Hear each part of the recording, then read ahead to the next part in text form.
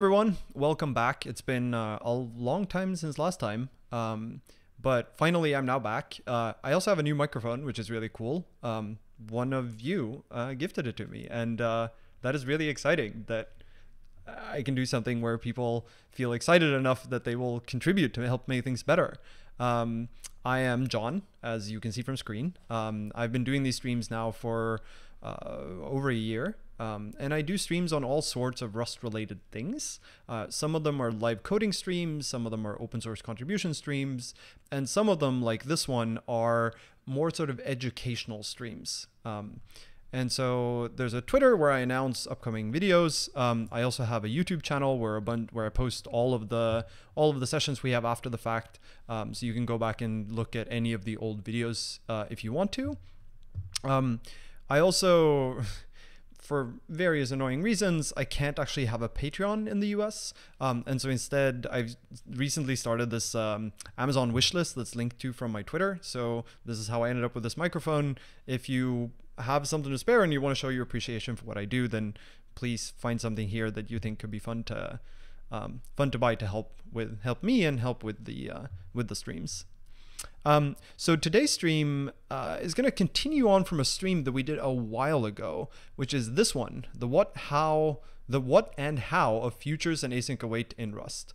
Um, so this stream, uh, we talked through like what are futures, um, how do they work, what is Tokio, what are runtimes, how does all this machinery fit together, um, what is async await, how does it interact with futures, how does it change the way you write code. And as part of that video, we also touched on this notion of pinning. Um, and we talked a little bit about what that means, um, but I feel like there's a lot more space for being able to talk more about pinning, uh, and that's what this video is going to be about. It's going to be about um, what is pin, what is unpin, why do we need them, and how do you use them? Um, I'll try to keep an eye on chat for questions as we go. Uh, for these educational streams, it, it helps a lot to um, sort of observe what you understand and what you don't as we go. So if there's anything you feel like eh, I'm not entirely sure what he means here, please ask a question because that way there are probably other people who wonder the same thing as you do and I can then address it. And also your the question and the answer will then be recorded in the stream for other people to learn from, right? Um, so the reason we're doing this, uh, I have this live uh, live stream voting site where a lot of you have voted in the past, and um, in fact, I can just pull it up here. Um, uh, so this, you can vote for what upcoming stream IDs ideas um, are most exciting to you. The current winner is this open source contribution stream, which I think uh, is really fun. We, we've done one in the past, um, but I had this idea of I really think it's important that someone do a stream on pinning, and so I decided, well, I should do one. Um, and so I did this poll on Twitter to, to ask people what they wanted to see. And as you can see, the, the overwhelming majority of the people who voted wanted to see like a deep dive into pin and unpin. And so that's what we're doing. Um, I will try to also take uh, a few of the practical considerations into uh, uh, into account when doing this. So my hope is to also get to look at some code and how code changes when you're moving to pin. Um, but it will be primarily about sort of the the ideas of pin, like why do we have them and how do we use them. Uh, great. All right, no questions before we start. That is great. So let's just dive right on in. Um, so as part of um, recent Rust release, um, pinning is something that landed in the standard library. And pinning is usually talked about in the context of async await, um, because that is primarily where it comes into use in Rust today. But it's not really about async await. Pinning is a more general concept that happens to solve some of the issues that async await ran into. Um, so, what we're going to do today is sort of look at why do we need pinning in the first place? Why do we need the concept of pinning? And what does it even mean for something to be pinned?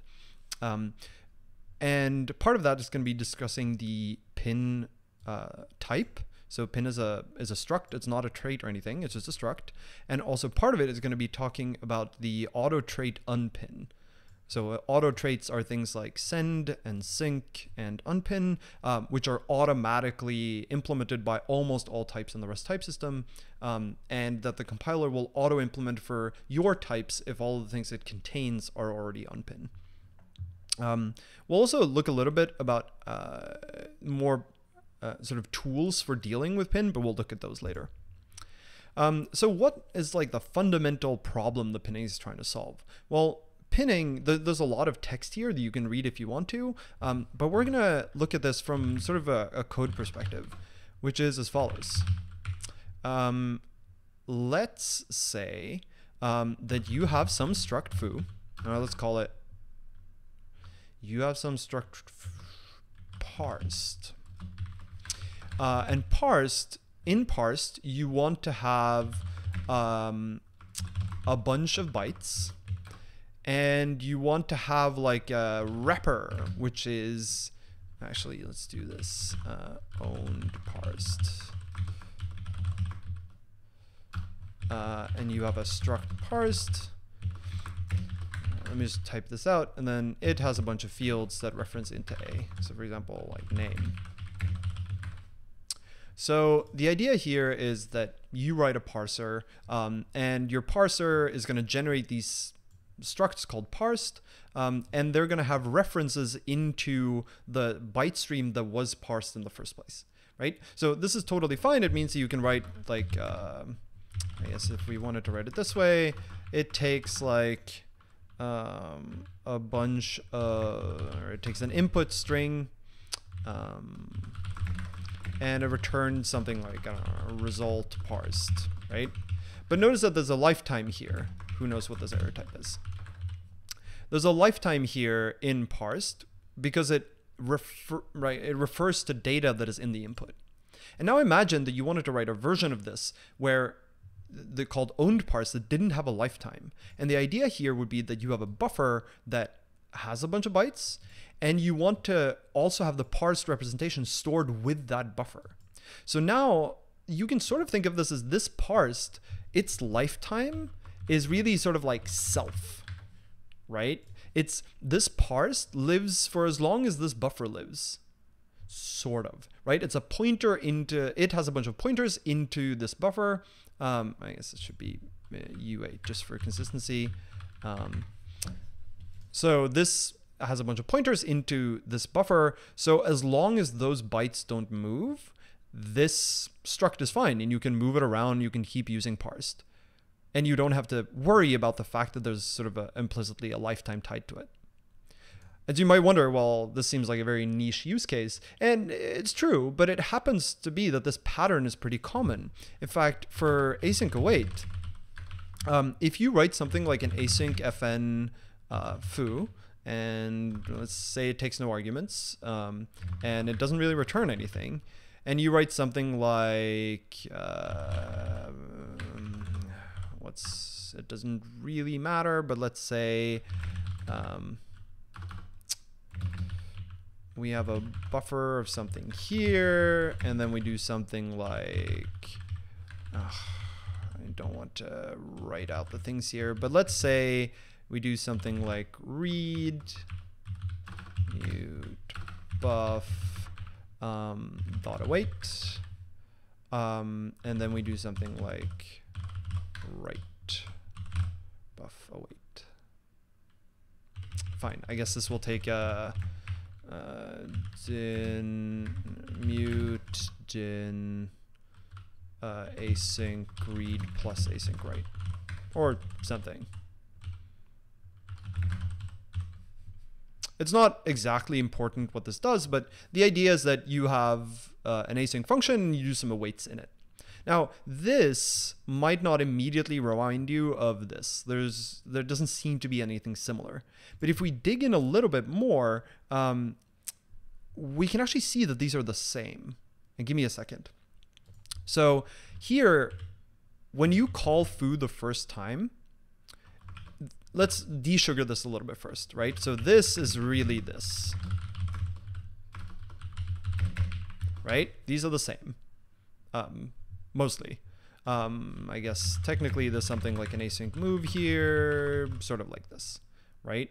But the question is, what does await desugar to?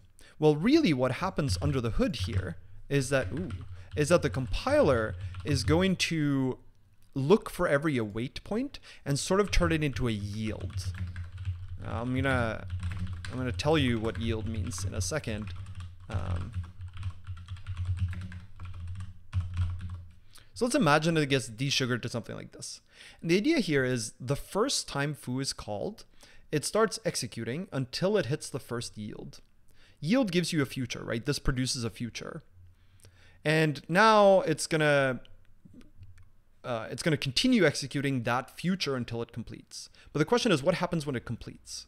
Well, when it completes and foo sort of continues from the previous yield point, it needs to continue from here. It can't start from the beginning because then it would do the read again. It has to sort of continue from here. And the same thing, when this yield happens, this produces a future. When it eventually completes, foo is going to continue from here. But what does continue from here mean? It means that any of the state that the that we have already is going to have to be kept. In particular, this buffer here has to be stored somewhere, right? Because if you're going to continue from here, you're going to reference buff, right? So so this sort of has a pointer up to buff. Similarly, this future also has a pointer up to buff.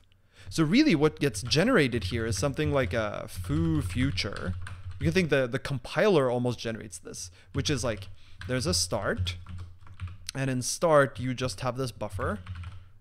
Um, I guess this would be U8 something. Um, and then you have a like step one, um, which is uh, a I don't know an IO read future, right? But this really sort of has a lifetime. It has a reference. It contains a reference to the buffer. So it sort of has a reference to start in a weird way. And similarly, this write future here also has sort of a reference to start. You see what I mean? Because this future is trying to read into this buffer.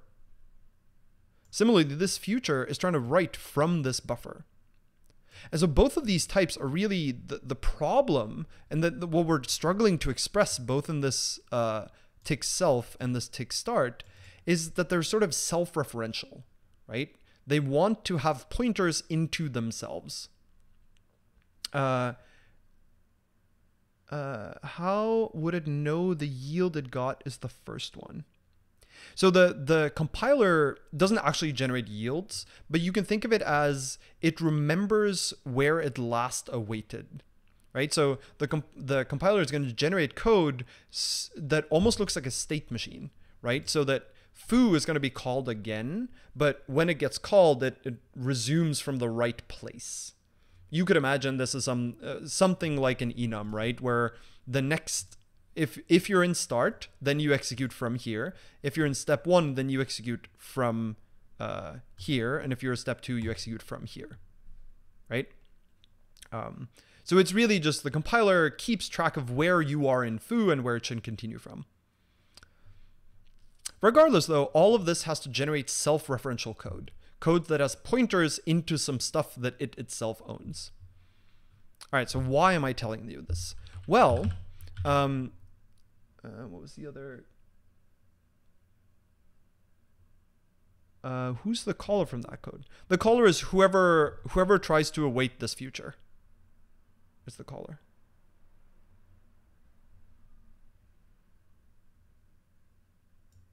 So, um, why do we need pin for this? Well, pin, the idea behind pin, is that the moment you place something in a pin, you are promising that you will not move it again.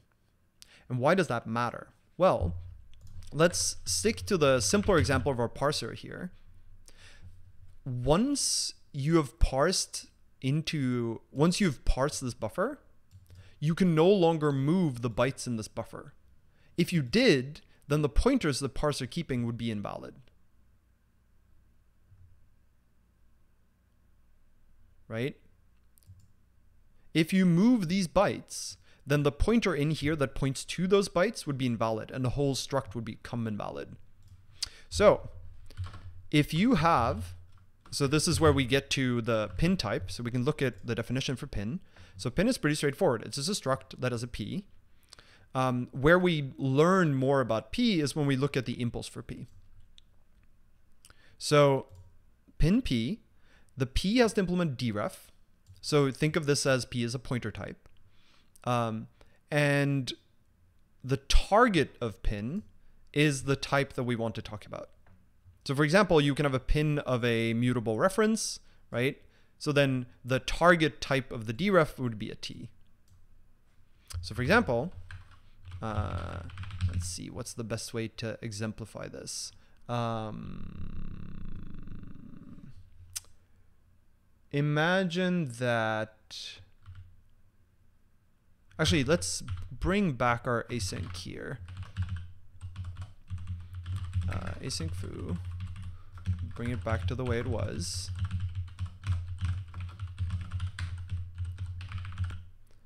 All right. So uh, here, so here, um, the await points right here and the await point right here uh, require that buffer is pinned, right? The moment you have gotten to one of these futures, you are no longer allowed to move the buffer because this future and this future both have pointers to it. And so this is why um, if we look at the future trait, uh, let's bring that up here.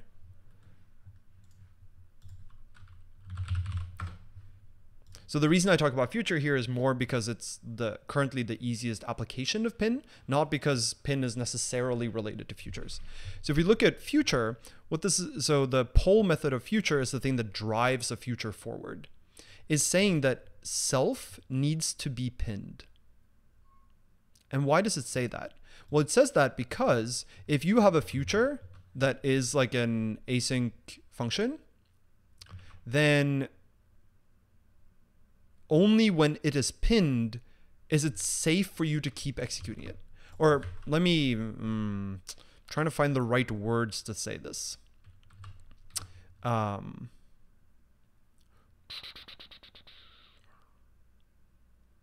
okay, let's uh, let's think about this just from this perspective first of all.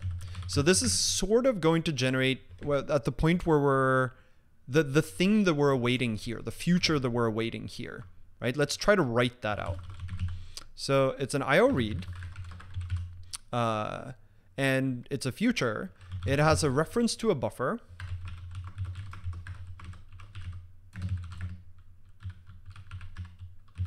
Right? Somehow has a reference to a buffer. That is the future that gets generated, and it like keeps a stream, which is a mutant async read, right?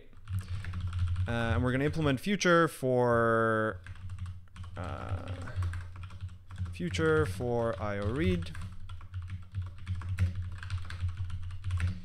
Uh, output is, I guess, something like an IO result usize, but the exact type is not important.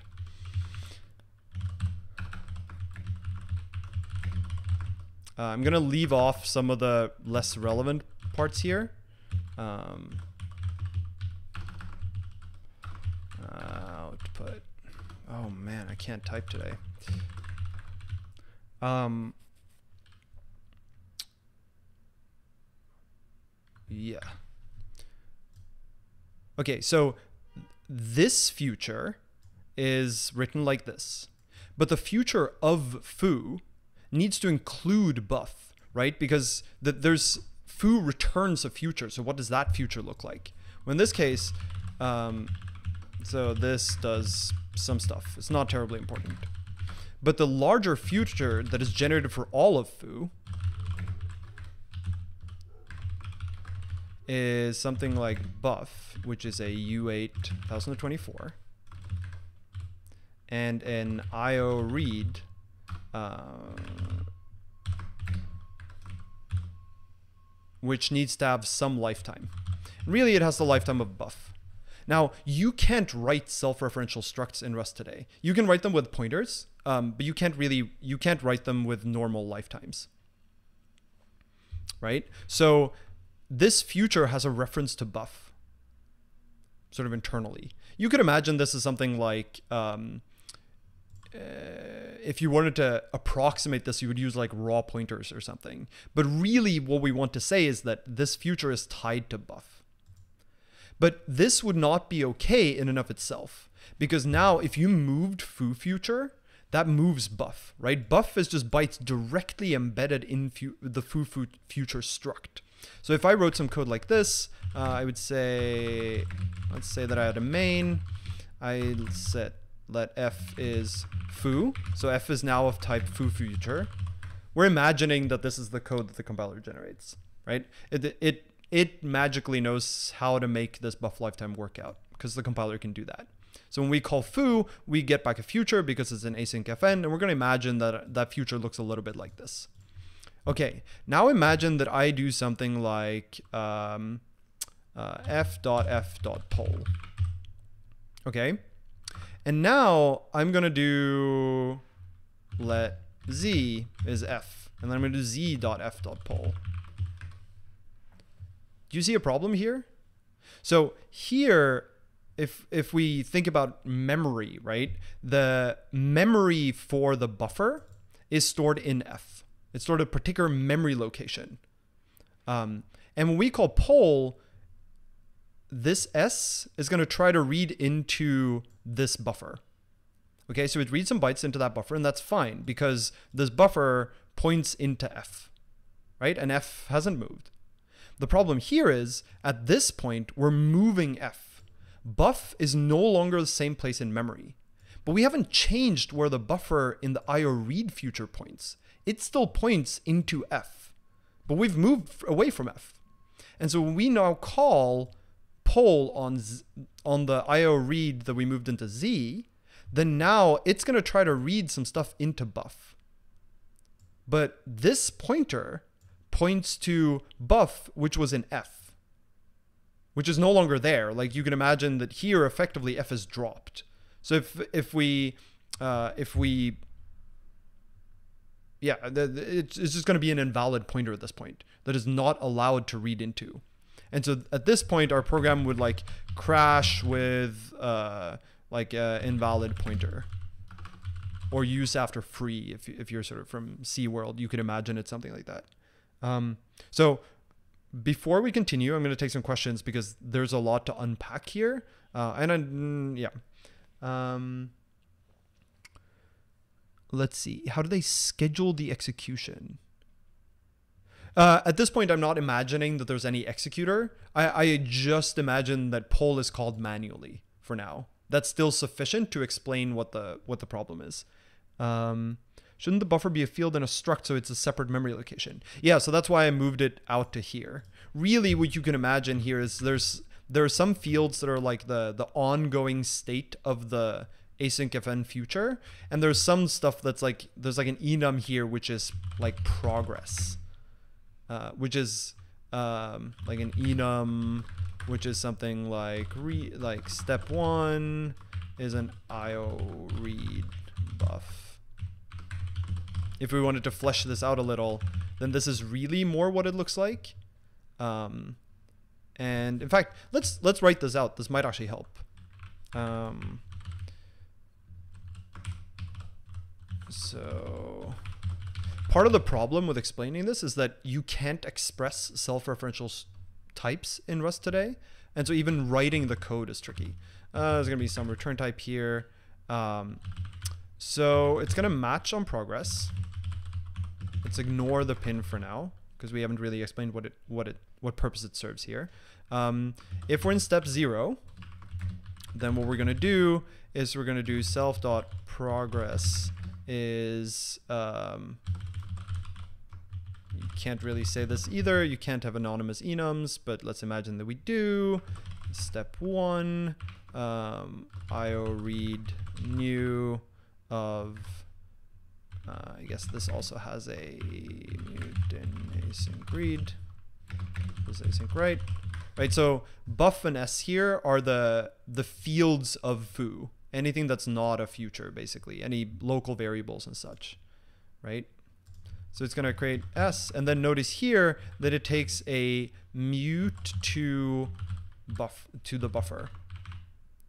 Right? So step zero is just creating the IO read in the first place, and this is where the pointers into the buffer in foo future is taken. And if you're in step one, then what you're going to do is, uh, a mute f, uh, like io read future, then io read future dot poll. And here, the, you can imagine it's doing something like it's going to match on this, and if it's poll ready, um, then it's going to something, something, something, uh, step two. And if it's poll, let's do this in a way where the compiler won't yell at me. And if it's poll pending, uh, then it's going to return poll pending. Does this roughly make sense for why this would be the future generated by this async fn, right? That this is how it keeps track of how far through foo it is. Right, so here, if there was another future we waited on down here, then that would be the step two part.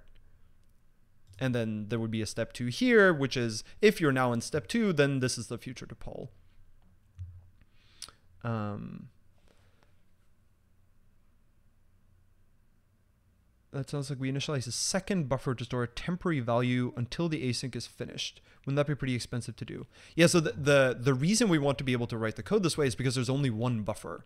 Rather than having to allocate a vector or something, we can actually have a buffer that's like embedded into the future that we do the reading and writing for, so that we don't have to do any dynamic memory allocation at this point.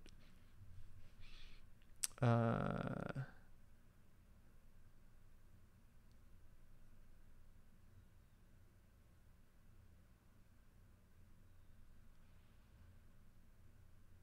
I'm not going to deal with things that are off topic right now. Um, okay, so does it make rough idea that this is the kind of future we would get or would get generated by the compiler if you wrote something like this? Just to sort of check that we're on the same page there. And does it also make sense that without any other considerations, this would be a problem? Right? Because here, in fact, we could just do don't need dot .f here, right? the when we first get foo future, here uh, we're at step zero, right? Here we're now at step one, and buff points into f. Yeah? Or I guess uh, IO read buff points into f. Here, we're still in step one, and IO read buff points into f, which seems like a problem because f has been dropped.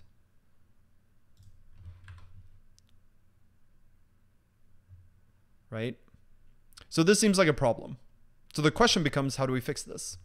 Uh, in fact, let's just for for now, this is the old future trait. This is how futures used to look, right? That you just took mute self, and then you can run into exactly this problem, assuming you had a way to write self-referential structs, right? This would not be okay. Well, so how do we fix it? So this is where pin comes into play. So pin is um, you're establishing a contract. You're promising that once you've placed something into a pen, pin, it will not move ever again. This is not saying that you can't move foo future. It's the moment you've given out a pin to a foo future, that foo future will not move going forward. So this is a it's a little bit important, right? If I am here in step 0, then it's fine for me to do this right? And then let G is Z and let F is G and then poll F. Totally fine. Because at these points, I haven't called poll yet. So I haven't given out a pin. Okay, so let's talk about why this matters. So with this type signature instead, poll is now saying, in order to poll, you must promise that foo future will not move again. And the reason for this, of course, is that we have references into the foo future once we've moved past step zero. Right? Once we start polling, then it is no longer okay for foo future to move because of this problem. Right? Now, once poll takes pin, look at how this changes. So now, if I try to write the same code, so let's copy that down here. Okay, so this is all still fine. I can't call poll on F, right? I have to do something like uh, X is pin new at mute F. And now I can call f.poll, right? And that's fine. IO read is now going to point into buff, just like we did up here. I can't do this though. If I move, well, I can. If I move uh, F, um, if I move F, then I'm really just moving the pin, right? I'm not moving F. And so this is still fine and I can still poll here. So this is fine. So what if I really tried hard to move F? If I did something like mem replace and I did, so how do I get at the F? It's behind a pin. If I really wanted to, like, I wanted the program to crash, how do I do this? Well, I really want to move the F behind the pin. So how do I do that? Well, you can imagine that I did something like, I'm going to dereference the pin and try to get at the thing inside it, and I'm going to replace it with a new foo or something. So will this work? Well, let's look at pin. So pin De so this is the critical part. This is basically what makes pin work. deref mute is only implemented for pin if the pointer is deref mute. So that makes sense, right? You, you can't you can't get to the the thing the pin is getting at without the type in between being deref mute. Um, but also, it only is implemented if the target of the pointer is unpin. Right? What the hell does that mean? Well, uh, remember I mentioned at the very early beginning that unpin, so this marker trait, is generally implemented for all types. It's an auto trait, so you will get it for pretty much all your types. If you if all the things inside your type are unpin, then your type will be unpin, and most of the things in the standard library are unpin. Some things that are not unpin is anything that contains self-references. So for example, foo future would not be unpin. The thing that gets generated for this async fn foo is not unpin. Specifically here, the compiler will generate something like not unpin for foo future. So notice that this is opting out of the unpin thing. What does that mean? Well, it means that I can't deref mute pin. That won't work. This pin to f, I can't I can't do this. This won't compile it'll tell me that the F I'm trying to get at isn't unpin, which was required for the deref mute unpin.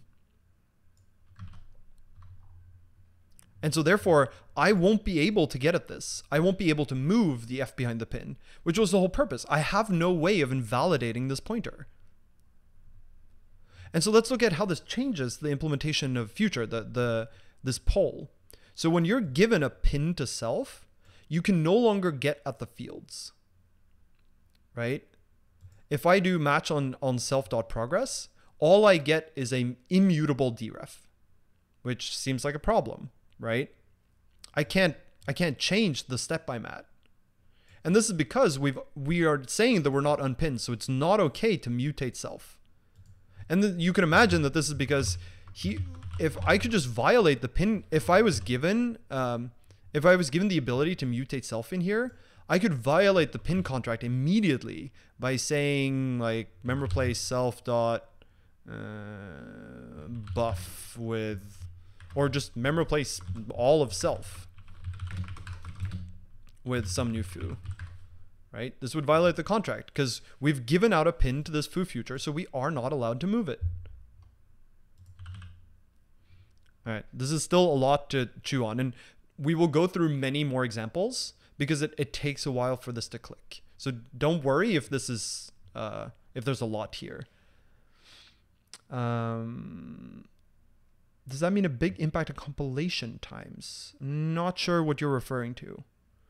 Um, as you are stating that for each await point, another step is created. Oh, I see. So um, it is true that the longer your asynchronous function is, the larger a struct the compiler, compiler will generate for that code, right? Because it has to keep track of all the progress points, so to speak, of that function.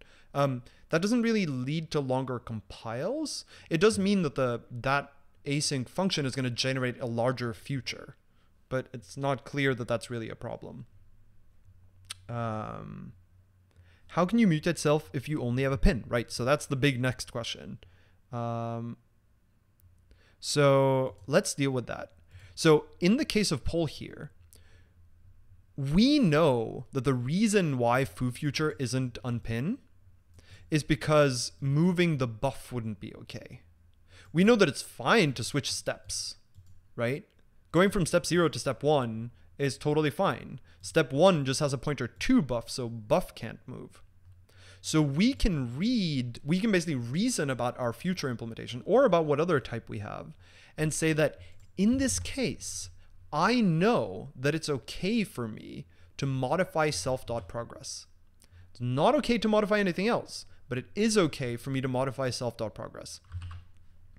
And so this is why for here and this. So you'll notice that there are unsafe methods called get unchecked mute and map unchecked mute, which are unsafe for this very reason, right? Here, so for example, let's um, use this get unchecked mute to demonstrate something that's wildly unsafe, right? If I did this,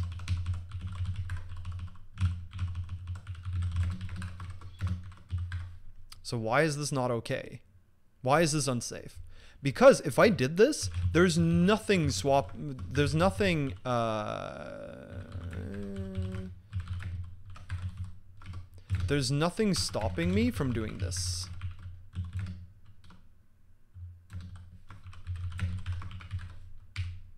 Uh,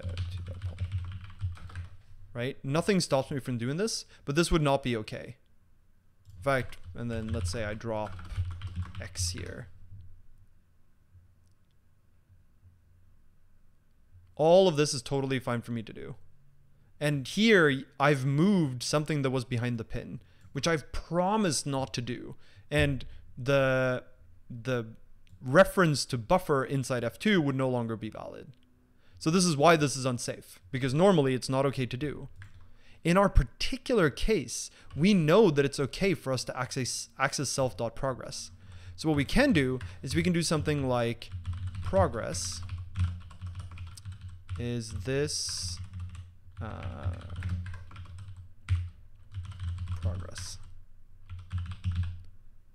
right so what this unsafe is guarantee is uh, not guaranteeing but what this what we have to promise in order to make this unsafe safe is that there are we're not breaking any references we're not breaking any self references by getting immutable access getting mutable access to progress here right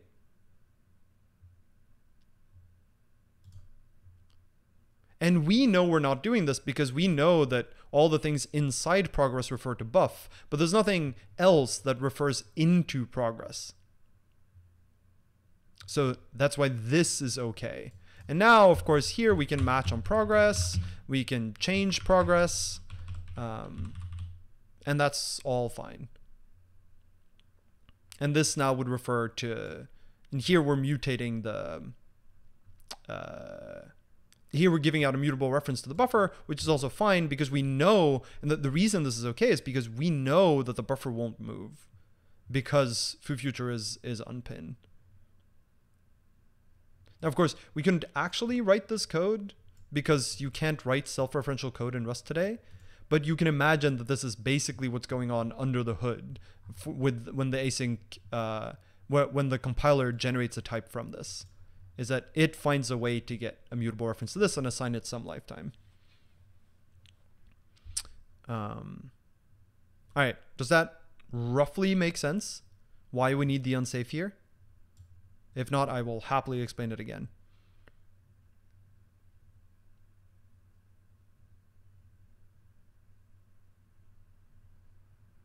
I'm gonna just leave some time for chat to catch up.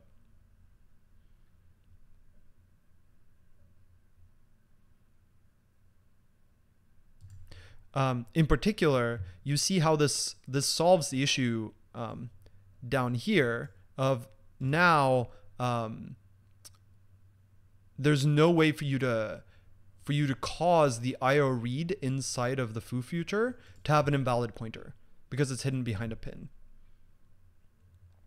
Uh, can't the language team add reasoning in the compiler about internal references to avoid using unsafe? Yeah, so um, internally, um, you can think of this as the code that the compiler generates. It knows when it can use this unsafe, right? It knows which things are referring to which. And so this is why when you write async fn, you don't have to write any unsafe. The compiler is going to generate some code that probably uses unsafe, but it doesn't have to generate any unsafe itself. Uh, so you don't have to write any unsafe when using async fn. All right. So that brings us to things that are unpin. So one thing you'll notice is that if you look carefully at pin, um, you will see that there are, let's look at, I get this one maybe.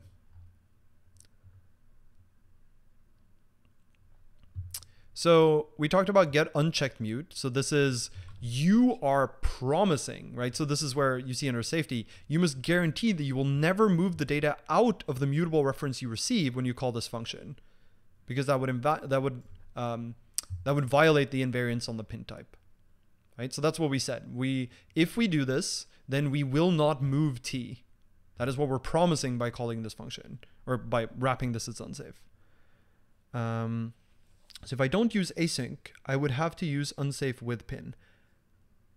Ah, no, so not quite. This is what we're getting to now. Notice that there's also this function, get mute.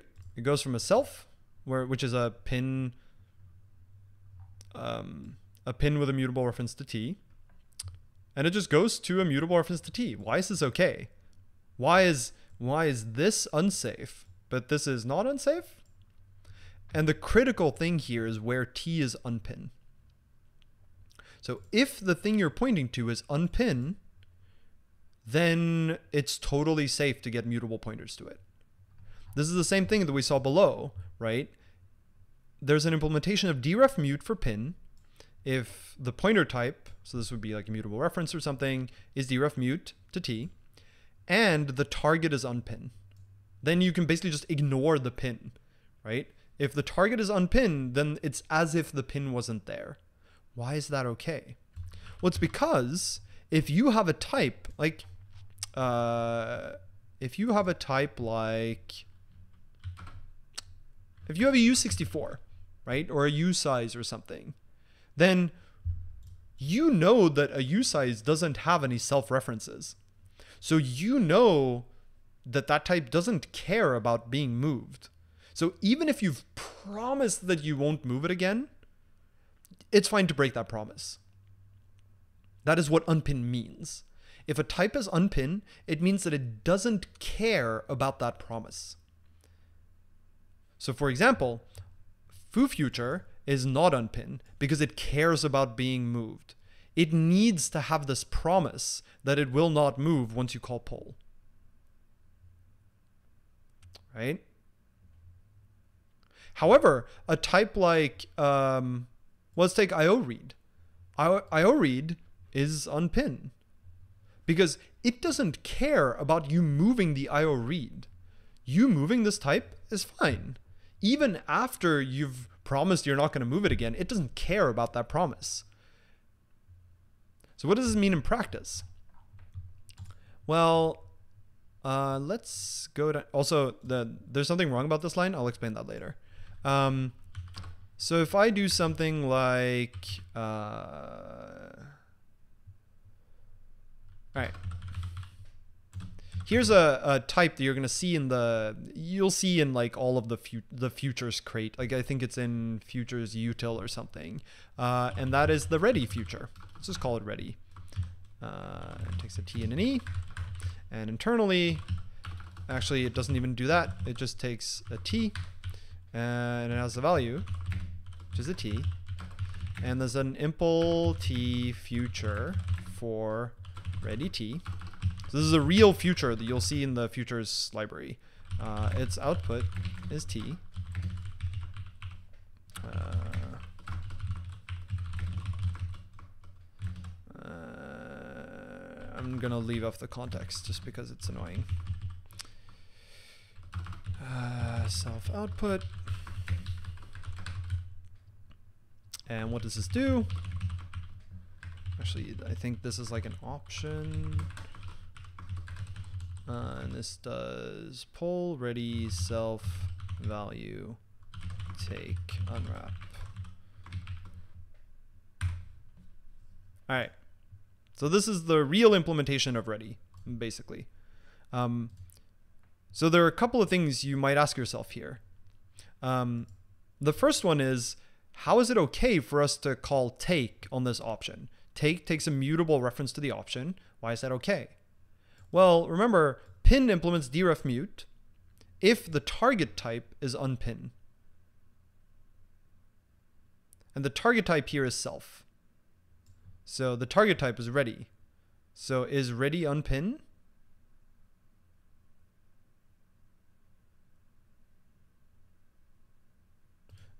Well, uh, actually, in this case, it's not unpin. Uh, unpin. Although it's unclear, it matters. Um, so in this case, if T is unpin, then remember unpin is an auto trait, right? So if all the things you contain are unpin, then you are unpin. So in this case, ready T is unpin in here because T is unpin. So in that case, pin implements deref mute, which means that we get a mutable reference to value, which means that we can take it. So ready here is really just like a future that immediately yields the value you give it. Uh, and it is unpin, which is what lets us basically ignore the fact that there's a pin here at all. And this will very often be the case. If you ever have to deal with pin of a type, that where the type is something you have written, usually that type will be unpin, right? Usually you don't have to worry about whether things are pin or uh, whether things are unpin or not, um, because usually they will be unpin, and then you can just use the value as if you had a mutable reference. And so now the question becomes, why is this okay?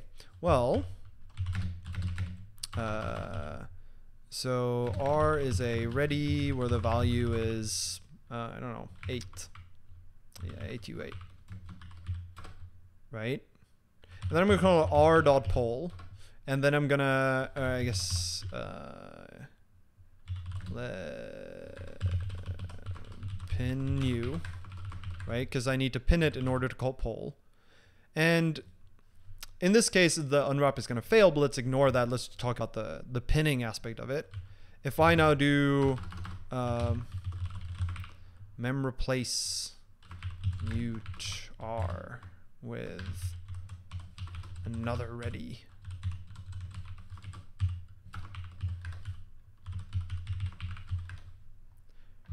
This isn't a problem, right? Moving this ready, even after I called poll, isn't a problem because there are no self references here. There are no references here that would be invalidated by moving the ready at all. Right? This is just not a problem. And the way we express that in the type system is that ready is unpin. Ready says, I do not care about the promise you made for pin, and so you can pin and unpin me however you want. If you have me in a pin, you can get me without a pin. If you have me without a pin, you can get me with a pin. It doesn't, the pin doesn't matter to me, is what unpin says. In fact, we can see the extreme version of this if we look at pin here, um, where you say, see that there's even a safe function on pin into inner, which takes a pin to a p and gives you the p. So it just removes the pin, right? And here, crucially, the requirement is that the target is unpin, because if the target is unpin, it doesn't care about the pin. So as long as you have unpin types, nothing matters. Or rather, the pin doesn't matter. And you see that this is explained in the docs too. It requires that the data inside the pin is unpinned so that we can ignore the pinning invariance when unwrapping it. So the only time we really need to care about pin is when types aren't unpin. Because then we need to deal with this business of their self-references that we have to be really careful not to uh, not to violate. Uh, if I understand correctly, the only requirement to be unpin, as it's an auto trait, is to not be self-referential. Basically, yes. Um, now, are there bigger requirements? Um, the other time you will run into it is if you are generic over things, um, because if you are generic over things, then they might not be unpin. So this is why for ready, for example, we have to bound ourselves by t being unpin, because otherwise we couldn't get a mutable reference to ready because ready wouldn't be unpin. Um, of course, the example of this is imagine that uh, T here was a self-referential struct. Then if you have a pin of mute of self, then taking here would move that self-referential struct even though it was pinned. And so that wouldn't be okay. Um, can we construct a pin from an object or do we need some kind of pointer to call pin new? Right, so that is that's an excellent question. That's what we're getting at next. So I, I told you there was something wrong with this line. If we look back at pin, we'll see what it is. Um, so pin new is totally safe, but it requires that the target is unpin. And why is that, right? It's because creating a pin around a type that doesn't care about pin is obviously safe, right? It is totally fine. You can create pins left and right. You can remove them and add them and whatnot. However, if you have a type that's not unpin, oh, really, I want the docs to be like this. If you have a type that is not unpin, so this is the block for things that are not unpin, um, then putting it in a pin means that you are making a promise. You are making the promise that you will not move it again, that it cannot move again, or rather, that you will not move it again, right? And so therefore, the constructor for pin when the type is not unpin is unsafe because you have to make this promise. And if you look at the safety here, there's sort of a, a pretty long argument for why this matters. So this constructor is unsafe because we cannot guarantee that the data pointed to by pointer, so the, the p type, is pinned, meaning that the data will not move or its storage invalidated until it gets dropped. If the constructed pin does not guarantee that the data P points to is pinned, that is a violation of the API contract and may lead to undefined behavior in later safe code. By using this method, you are making a promise about the deref and deref mute implementations if they exist. Specifically, they cannot move. So let's dig into why this matters, right? Why is new unchecked a problem? Well, uh, imagine that I wrote a malicious implementation of deref mute. Um, so my evil pointer. All right, so uh, this has a T, uh, and I'm going to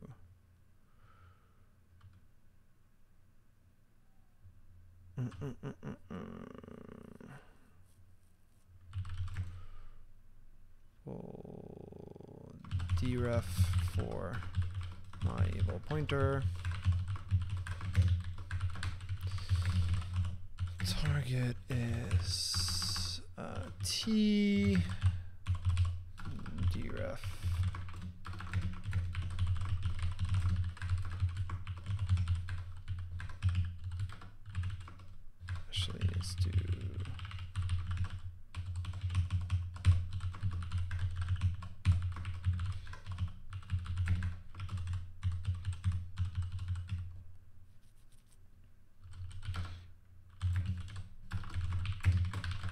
All right, so I'm gonna have a main here.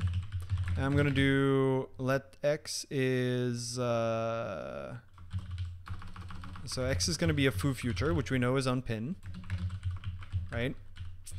Uh, and then I'm actually gonna do my evil pointer. Uh, all right. And then I'm going to pin that. Um, so this, of course, is not okay, right? Because um, you can only pin when the target of the pointer is unpin, which for future is not. So we need to use new unchecked. Now let's imagine that new didn't have the requirement. Let's imagine that it was fine for the target of new to not be unpin, right? But we still had the requirement of unpin to get at mutable references and such, right? So I still couldn't move out of X. I couldn't, I still couldn't move this because um, I wouldn't be able to do, say, mem replace uh, X with this, right? This I still couldn't do because this pin wouldn't implement deref mute because foo future is not deref mute, right? So why isn't this okay? Why can't pin new just work for any type? Why does it need to have this bound on unpin to be safe? So the reason is, uh, imagine that this code all, uh, imagine that um, that pin new accepted any pointer type. It did not have any restrictions on um, on unpin. Then notice that if I do uh,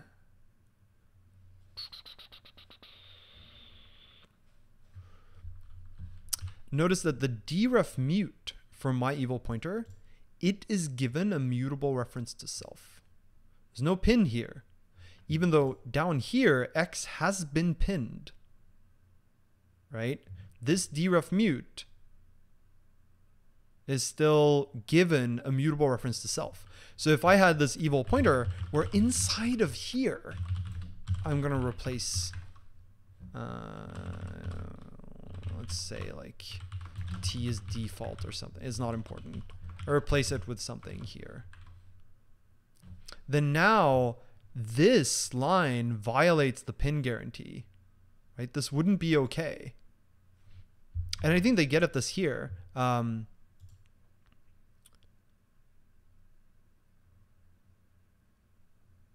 yeah. Um, by using this method, you're making a promise about the deref and deref mute implementations if they exist. They must not move out of their self arguments right? Pin as mute and pin as ref will call them on the pinned pointer. And if you look at um, as mute, uh, so as mute goes from, so this is critically the reason this is necessary. There's this function, it's, it's easier to read it here. So what does this function do? Well, it lets you go from say a pin box t to a pin at mute t. So why is that useful? What is useful for cases like you want to call future poll. So future poll, if you recall, has a type that requires a mute self. So if you have like a pin box t and you want to call poll, use as mute to get a pin mute t. Right? So this function is pretty straightforward, but it is safe for all types, right? So it internally basically just calls self uh, deref mute pin new unchecked. Internally, this is what it does. Right? And why is that okay? Well, because uh, if I have a pin to the outer to the to the box T, then the target is also pinned. Like there, this should be totally safe. But the exception to that is I have to go through deref mute. And so if the deref mute did this, this would not be okay. And so this is why you creating a pin in the first place, you are making a promise uh, if the type is not unpin, you're making a promise that the deref mute doesn't abuse the power it gets from getting mute self. In fact, we have a similar problem with drop, right? So um,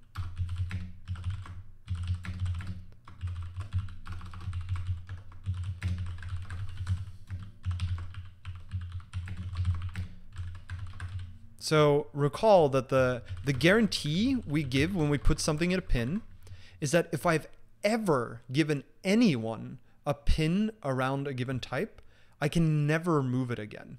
I am not allowed to move it again at no point in the future if I've ever given out a pin. I can't basically I can't undo a pin promise unless the type is unpin.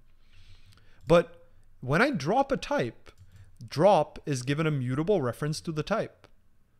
Even if I've previously only had pins, right? When the pin is dropped, then the pin is going to call drop on the inner type.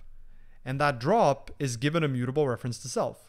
So it can move out of a thing that had a pin around it. Not okay. And so this is why you'll see uh, in the documentation for pin up here, um, yeah, so see they have this like big example about self-referential structs. Um, so here they talk about this thing called the drop guarantee. And so concretely for pin data, you have to maintain the invariant that its memory will not get invalidated or repurposed from the moment it gets pinned until when drop is called. And specifically, there's also requirements on the drop implementation, right? If you if your type uses pinning, you have to be careful when implementing drop because the drop function takes mute self. But this is called even if your type was previously pinned, right? So this is the issue we just raised. And exactly like this, it's as if the compiler called get unchecked mute for you, which is unsafe.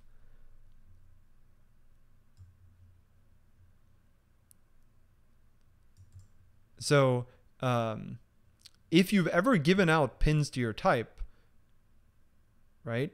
If you basically think of this as if your type ever implements something where it takes a pin self, then that means that your drop implementation you must treat as if you're implicitly taking pin mute self. And so they give this example of how you could do this safely, which is uh, just in drop pin yourself and only then do your uh, write your drop implementation. Yeah? Does that make sense? Because otherwise you could do all sorts of bad things in here, which is not okay. Uh, I don't think ready T actually needs unpin for T. Why? Don't think that's true. Why do we need await? Can't compiler automatically do await when function called is async? Well, okay, so if if you only ever wrote code like this, uh. If you didn't write the await keyword, then um, it would mean that I would have no way to do something like, uh, well, this is a bad example, but sometimes you want to wait on multiple futures. So this is often referred to as a select. Like I have two futures and I want to wait for either of them to complete. I don't want to wait on them in sequence. I want to wait on them in parallel. Um, and if the compiler automatically awaited for any future it saw, then you wouldn't be able to do that. Um,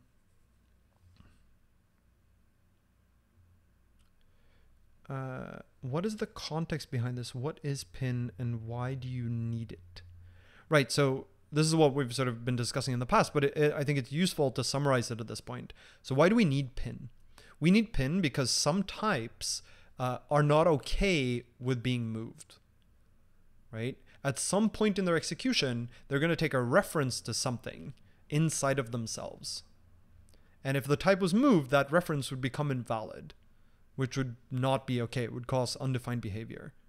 And so pin is a way to, to fix this, which is if you ever give someone a pin of a type, then you are making the promise that it will not move again. And they can rely on that promise, right? So for example, foo future relies on the promise that it will not move again to create a self-reference.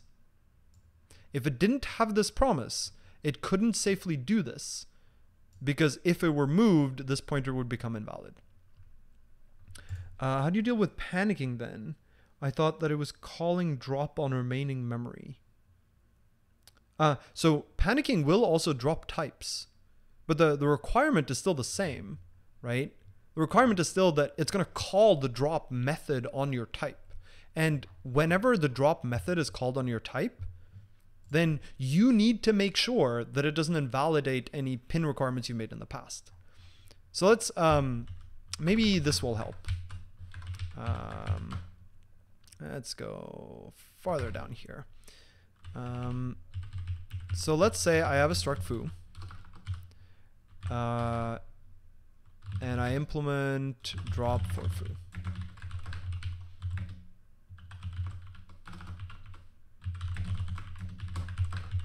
Here, do I need to care about pinning? No, because at no point have I done anything that deals with pinning, right?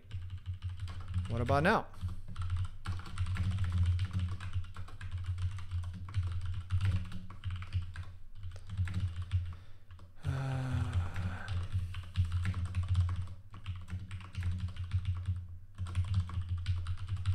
If I have this, do I need to worry about pinning and drop? No, because foo is unpin. So it's always safe to go from a pin of foo to a mutable reference to foo. And so drop still doesn't have to take any special considerations. What if foo internally contains a foo future? So now foo is not unpin. I have at least one method. Well, actually, how about now? Do I have to do make any specific, special considerations in drop? No, because at no point has there been created a pin of foo. Or if there has, I haven't taken advantage of it. So that promise may or may not have been made to me, but I haven't used that promise in a sense. And so I know that I can't be violating any invariants that I have made um, around foo future because I haven't used it. It's only if you have a type that is not unpin and that type is ever placed in a pin that you use. So basically, if you ever take advantage of that promise, right? It's only if you rely on that promise that you now have to be really careful in drop. And so the recommendation that they make in the docs is basically that you do this. You write this inner drop function, which takes a pin to self, and then you give it pin of self. So you basically pin yourself before you call drop on yourself. You have a specialized version of drop. So really the solution to this would be for drop to always take pin self. But of course they can't do that because the drop that wouldn't be a backwards compatible change, right? The drop trait has already been stabilized for a long time. Uh, you can do impl t unpin for ready.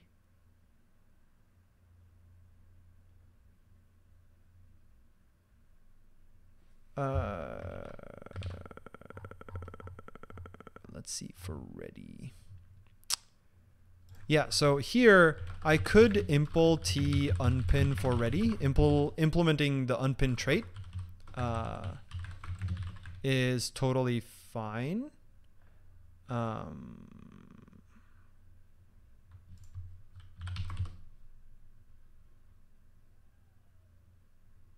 actually, you're right. You're right. Uh, so the reason this is okay. Let's uh, kind of want to keep all the other stuff. Um, but let's try to actually compile some code just to see why this matters. This is actually an important point. So let's uh, let's deal with it. Uh, use standard future future task poll context uh, pin pin Let's see that we can actually compile this code uh, this technically takes a mute context this um,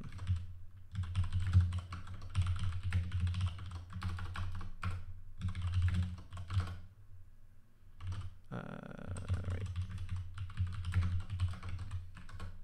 All right. So this code compiles, right? Uh, there's no unsafe in it. Um, and so you might wonder, well, why is this okay? Right? Why is this okay? Well, remember that the pin promise only matters if you make it. So here, we are moving t, right? We have a pin to self, and we're moving t. Why is that okay? Well, it's okay because we've never given out a pin t, right? This t that we contain, we've never given out a pin to. So we've never made the promise that we'll never move it. And so therefore, it's fine for us to move it here. Yeah? Now, this might make you feel a little bit worried. Why is this okay, right? Why can we why is it not unsafe to implement the unpin trait? And it's because this implementation in and of itself is not a problem. It is only a problem if you ever write unsafe code elsewhere. So specifically, um, this implementation of unpin is totally fine, right?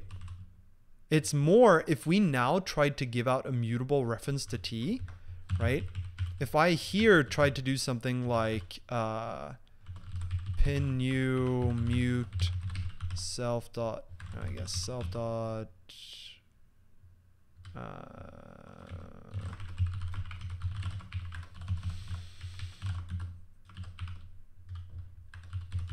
imagine that I wanted to write this, right? This won't work. Why won't that work? Well, okay, let's say that t is future. Right? Uh, right. Me... I just want to show you that this doesn't compile uh, for the right reasons. Uh,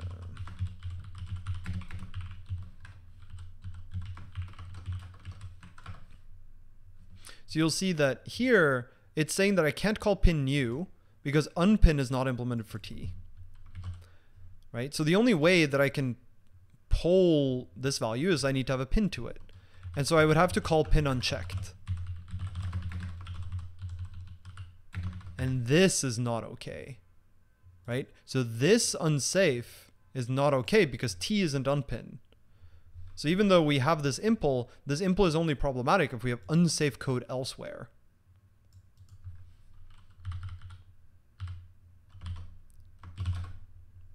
And so that's why that's why we don't need the unpin bound here is because we never give out a pin to t and so therefore moving t is fine.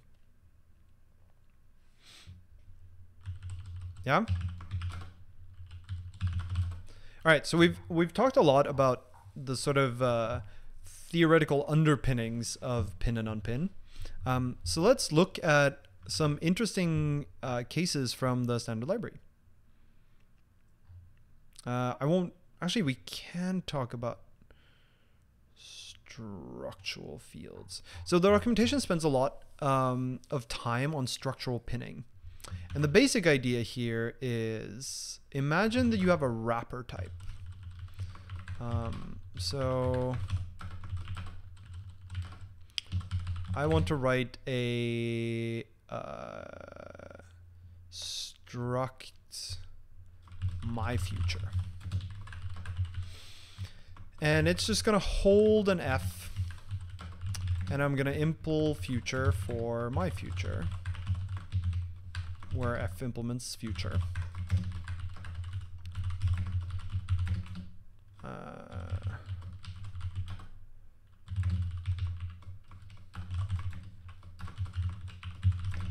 just write out the signature here.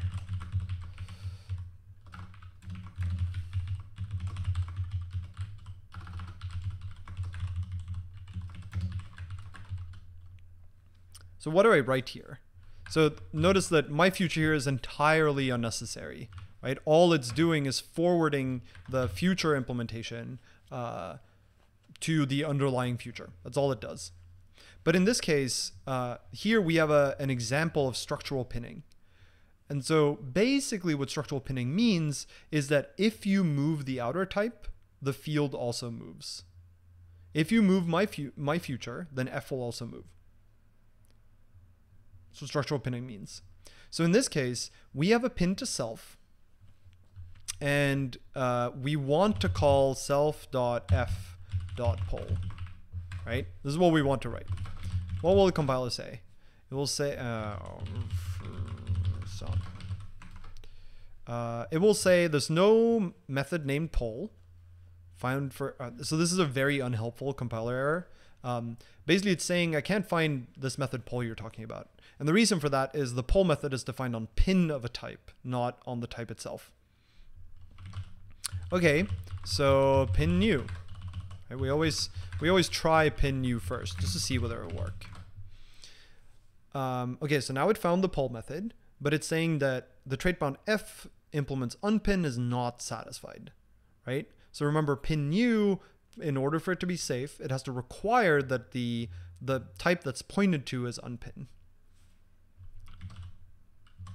Okay, so why doesn't this work? Well, we could of course say we only support forwarding to futures that are unpin. Uh, like okay, so that compiles. Why does that compile? Well, if f is unpin, then my future is unpin. So self is deref mute through the pin, right? The pin deref mute sort of enables when the target type is unpin. And so now we can get to the f and we can call pin new because the target type is unpin because the target type is f. And so therefore this code now works. But this is a little sad. This means that you couldn't do something like have a main uh, er, uh, let's do an async fn foo. Uh, I couldn't do this.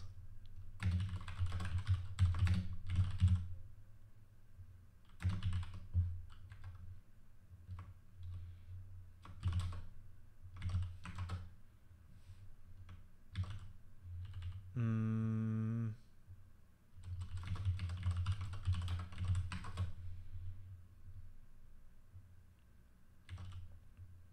Right, so here I'm trying to set f to be some async block where presumably I'm going to write a bunch of code in here, right? And then I'm going to await that future. This won't work. Why is that? Well, uh, we want there to be an implementation of future for my future, right? Because otherwise we can't await it. We can only await things for futures. And for that to be the case, um, for this for future to be implemented for my future, then we've already said that we require that the f is unpin, right? And so we need the gen, so gen future here is the the future type that the compiler generates for async blocks. And so, okay, we need gen future of t, where t is like the actual contents of the async block. Uh, we need that to implement unpin. But that requires that this, so see how it says static generator at source librs line 20, right? So what's at line 20? At line 20 is this async block. So it's saying that uh, the bound gen future implements unpin, right? So this async block implements unpin is not satisfied. And so now we're saying that this async block isn't unpin because no async fns or blocks are and therefore my future doesn't implement future.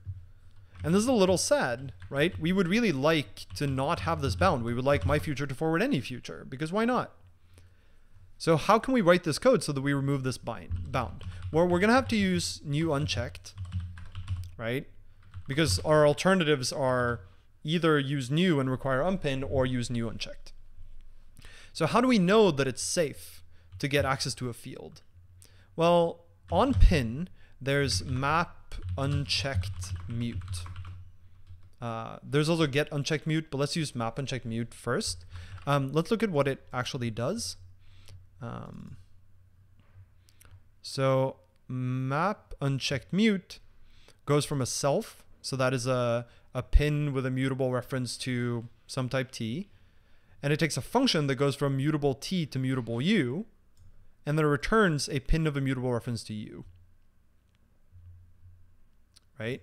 So this is going from you have a pin of some type and you have a thing that converts from that type to some inner type and then it gives you a pin of the end result. And so why is this? So uh, in our case, what we want here is this is basically a reference to self. So let's call it this. Uh, and we're going to give a mu to this f.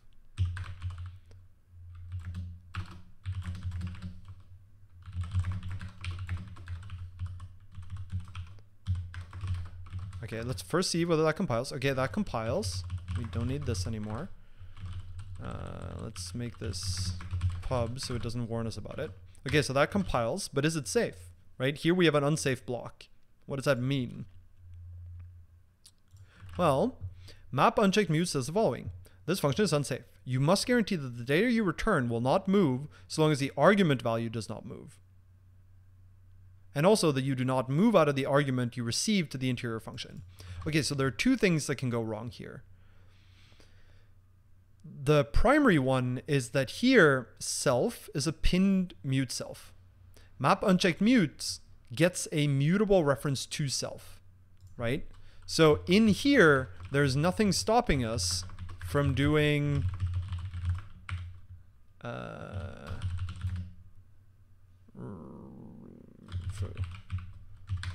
moving self, which might not be okay, right?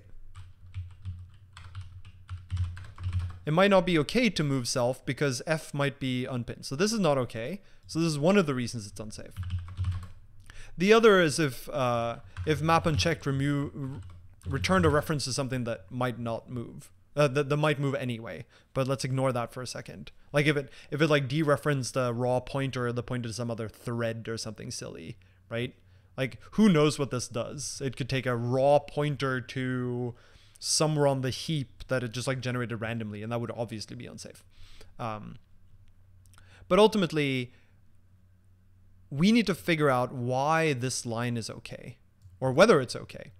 And so here, what we're saying is that first of all, our closure here does not move things that aren't unpinned, right? It doesn't move anything, in fact.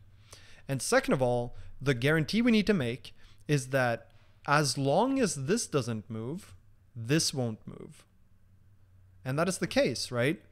We don't move F. We never move F. And as long as my future doesn't move, right, which is this, then F will not move. Yeah? And so this is because here we can rely on this thing called structural, um, what do they call it? Structural borrowing? Structural, structural pinning. Um, basically, they're asking whether pinning is structural for a field. And in this case, F, uh, F is a structural field of my future. Because if my future moves, then F moves. If my future does not move, then F does not move. And so it's okay for us to make this promise because we have been promised that we won't move.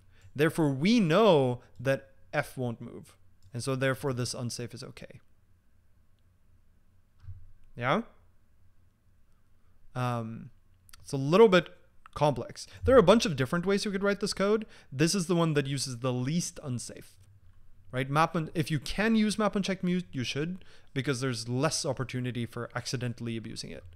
One alternative here, right, would be unsafe get unchecked mute right? And then we do something like uh, this dot f dot poll. But now we'd have to also do new unchecked to this with unsafe. And also now someone could imagine this was in the middle of like a long complicated function. Nothing is stopping someone from doing like, oh, I'm just going to set this to none or whatever. And the compiler wouldn't warn them about this line because this line promised that the code beneath didn't do anything wrong. And so this is why, where possible, you want to not generate these, right? Or you could do something like uh, f is, and then this, right? That way that this wouldn't accidentally be used further down.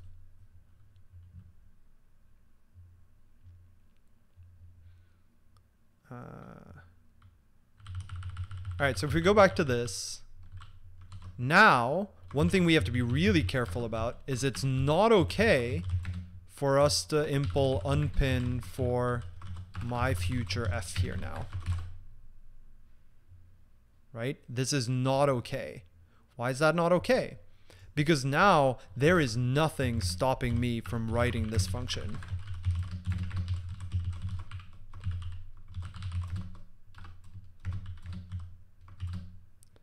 Uh,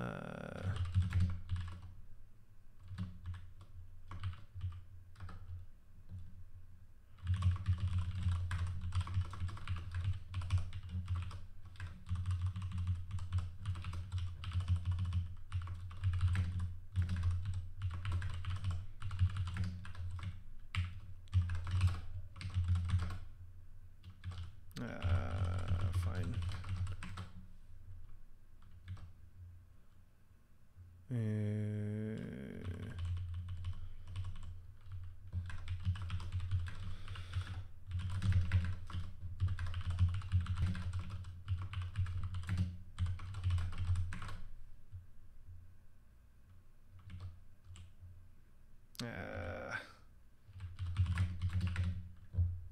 Uh, why is it annoying to write this code? Um, ah. Async fn buzz. I just need something to stick in here. Right? I can now write this code. There's no unsafe in this code, right? I create an F of type my future. I pin it, so I'm guaranteeing that it should not move again. And I'm saying that F should not move again, right? So buzz is an async fn, so it's not unpin. So I'm pinning it, and that's totally safe. And then I'm swapping out, I'm just straight up swapping out um, the my future. In fact, I could do dot .f, swap it out with a different buzz. And all of this is safe. Even though clearly I'm breaking the pin guarantee, right? I made a promise with, with this pin, pin new that I would never move F again. And yet here I moved F again in safe code. And there's a subtle interaction here. The reason this is a problem is because this implementation of unpin is saying that you can move my future however you want. But this unsafe is relying on the fact that if you have a pinned my future, then it will not move. This unpin is opting out of that guarantee for my future. It is saying that you can freely move my future no matter what you like you can just move it freely. And so this pin means nothing. Therefore this unsafe which relies on this promise also means nothing. And so now we've broken this. So this is why this even though this implementation is not unsafe this adding this safe implementation breaks the requirements of this unsafe. Did, did that make sense? Someone asked why is it safe to implement pin and it's because this on its own is never unsafe. The only thing it can do is it can make things that are already unsafe be unsound, right? Be incorrect. So the when you write this unsafe, um, what you're really saying is, I have thoroughly checked the code and I know that this is safe. I know that this pin guarantee means that like if this will never move, then this will never move. Adding this changes the guarantees of pin on my future, making this unsafe no longer correct. and but, but this impl itself isn't unsafe because if we didn't have any unsafe code in here, so for example, if this was like plus unpin and let f, so this is what we had before, right? of uh, pin new uh, mute self f poll, right? This is totally fine. Now this unpin isn't bad. So it's not really the unpin that's the problem. So this is why it's not unsafe. It's only that by adding it, you are violating an invariant that other unsafe code in your code relied on. Uh, why doesn't the compiler always do it? The compiler can't add this impl for you always because it doesn't know that you have this unsafe and relies on this not being unpinned. So always adding this would be wrong because if you have unsafe code elsewhere, it might rely on you not having this impl. So therefore the compiler never adds it. Unless all of the, unless your type is unpin. If it's not generic or if all of the fields of it are types that are unpin, then this unpin uh, implementation will exist from the compiler. All right. So that should give us a decent view into unpin and why it's necessary, and also how to use this with unsafe, right? So now if we remove this, now you'll see that this code no longer compiles, right? I'm not allowed to create this pin new right?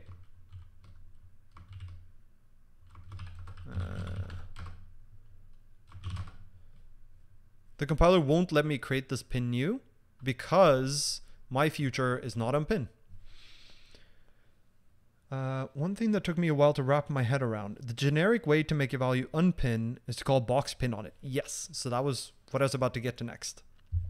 So, one thing you will see, um, and this might strike you as surprising, which is why we're going to talk about it, is if you look at box, so box allocates something on the heap, you will see down here. Uh, this hidden in the darkness. So take take a little bit of time to read this and see if it makes sense to you.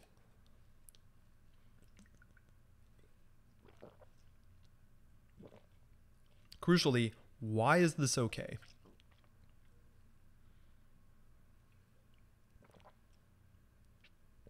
Notice that here we're saying that for any type, no matter whether it's pin whether it's unpin or not unpin, if you put it in a box, it is now unpin. Or rather, the box of the type is unpin.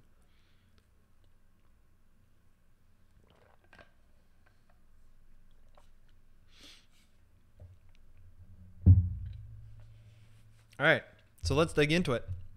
Why is this okay? Well, this is okay because if you have a type that is on the heap, right? So for example, if I have here box of f, then if you move my future, then f is still not moved. Right? So now you can move my future all you want. I can still always keep pinning it. If you pin my future and then unpin it and then pin it again, not a problem. All of that is fine. Because F still hasn't moved. So it's not because it's not self-referential, right? What what um, what unpin for box is saying is regardless of whether T is unpin or not unpin, it is unpin when it's inside of a box. And this is because now the structural guarantee is very different. So can we now do this? Right, so, so by making this box, given the implementation we just saw, this means that my future is now unpinned, regardless of what f is. Right, because it was a blanket implementation. So can we now do this? Right, now that self, self is now, or pin of self is now gonna implement deref mute, so we can get at this. Does that now work? We get rid of this broken thing down here. This is now compile. Oh, I need to.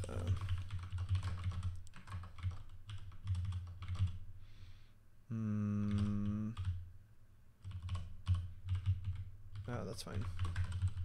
Let's wait a second with that too.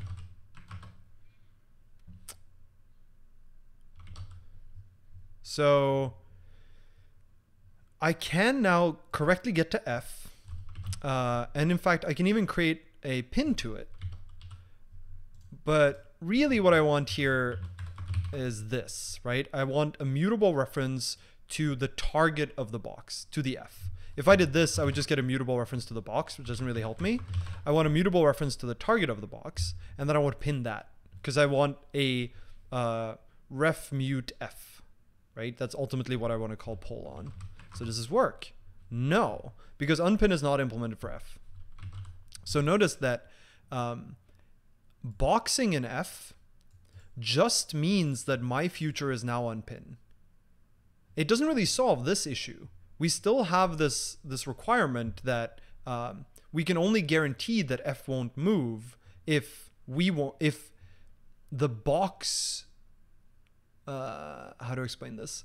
Um, Okay, so why doesn't this work? Well, I can write a function that does this.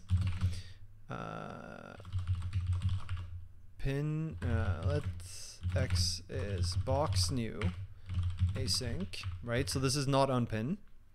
Uh, uh, mute x. Uh,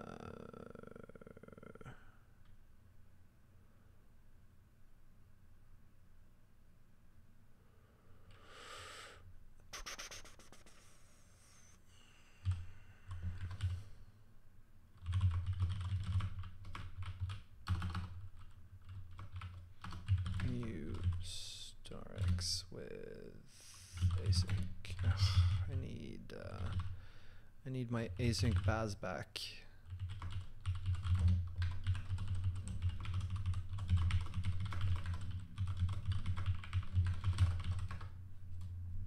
Uh, right. So a box of f makes the the box itself is unpin, but we still that that's not sufficient for pin new to be safe on it because otherwise I could write code like this, right? Where I still get to move the thing that's behind the box. So boxing something in and of itself doesn't really help with pin. It all this is saying is that if you have a type that contains a box T, then that type is now fine to move even if you made guarantees about pin. If you've made guarantees about pin of T on the other hand, then box won't help you, right? Specifically, in here, we want a what this code really wants to produce is it wants to produce a pin uh, mute f, right? But in order to give out this, we need to give guarantees about whether f will move. And so it doesn't really matter whether my future moves, right? All this box is saying is that if you move my future, that does not necessarily move f. But that's not saying that f won't move which is what we require here. We require being able to say that f won't move. And so in fact, if you want to use box this way, then what you can do is store here is a pin of box of f. Now what we're saying is that if my future moves, then f won't move. And a pin of box of f Let's uh, find the, where is it? Um, oh, did I close it? That's annoying.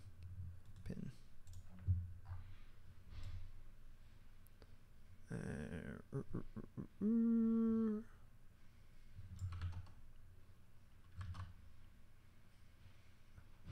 yeah, so a pin of box of F, um, you won't be able to get a mutable reference to F through this. So you won't be able to move F. So if we know that my future won't move, then we know that people won't just like switch out the F. That's fine. But if we now want to get a mutable reference to the F, uh, let me see. So let's first let's see what this compiles. Uh, box does not implement structural pinning. Yes, that is one way to say it. That's right. Uh, yeah, so we still can't call pin new, right? And the reason for this is uh, if we if we could just get a mutable reference to f this way, uh, then anyone else can as well, and they might just like replace it entirely. And so we're gonna have to use new unsafe new unchecked. All right. Uh, what? can't borrow is mutable. Uh, missing here?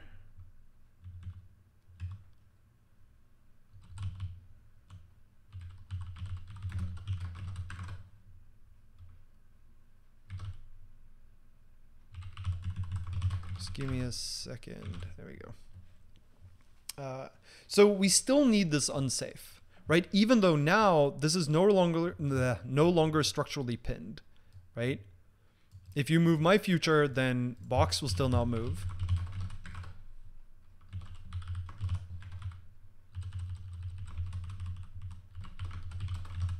Let me just uh, tidy this up a little.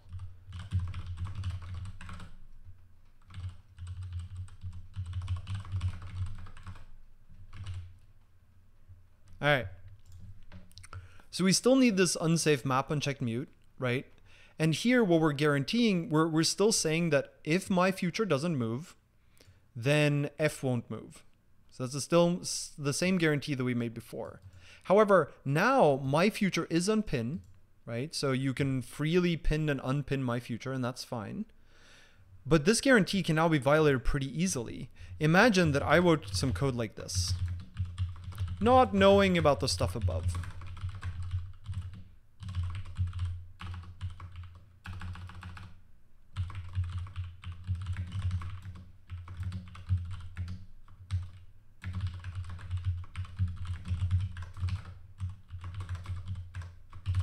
Right? Unsuspectingly, I didn't really look carefully through the file and I wrote this implementation. Well, this is now a huge problem. Because now, I can do this. Uh,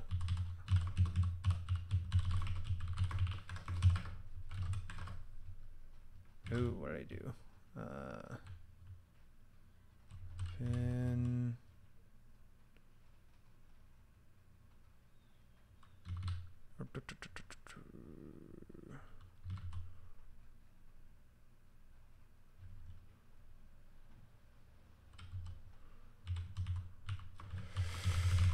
My future f of this. And then I pin that.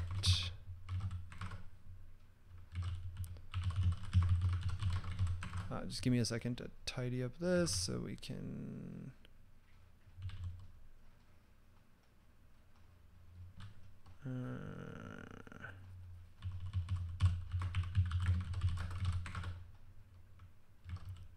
and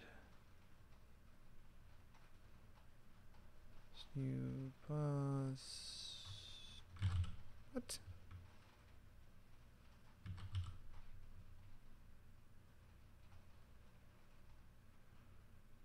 What am I missing?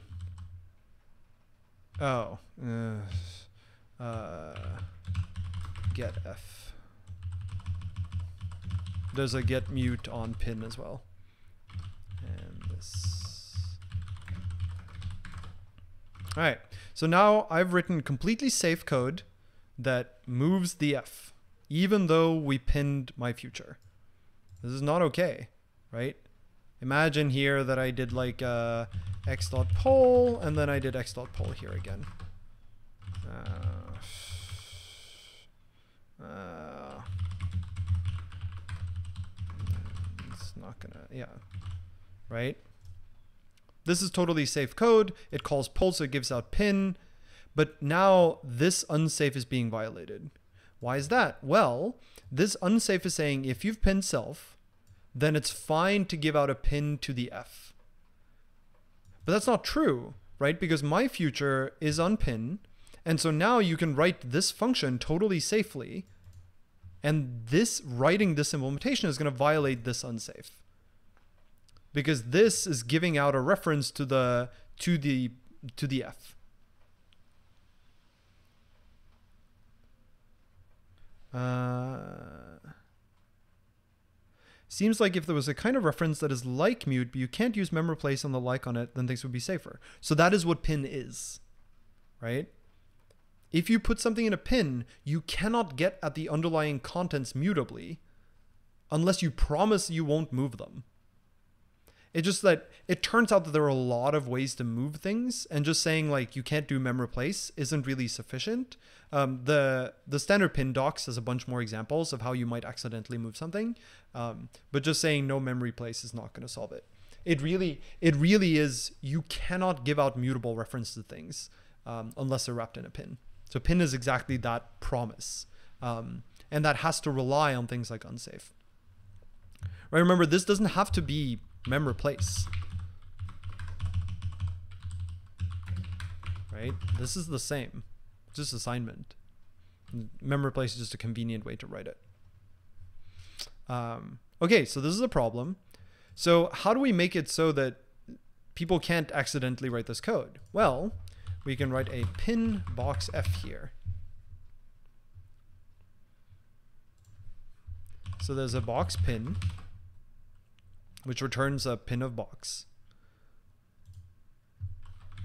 And now you see, uh, let's get rid of these because they're not important. and see here. Right, so now this function you can't write safely anymore because what we're saying here is we're going to put f in a box and then we're going to pin it. We're going to say that uh, this is going to be used as pinned. And so you can't just like arbitrarily give out mutable references to it. And so now this get f, if you try to write it, you would have to write unsafe code, which wouldn't be safe, right? So this is now no longer possible. And now it's going to complain about uh, this get f, right? So this this you can't call anymore, so that's great. Um, and in fact, let's just comment out this whole thing. We don't read it, need it right now. Uh, what? You know, terminated. It's terminated right there. Oh, it's awkward. Um, and now look at what we can do. So, uh,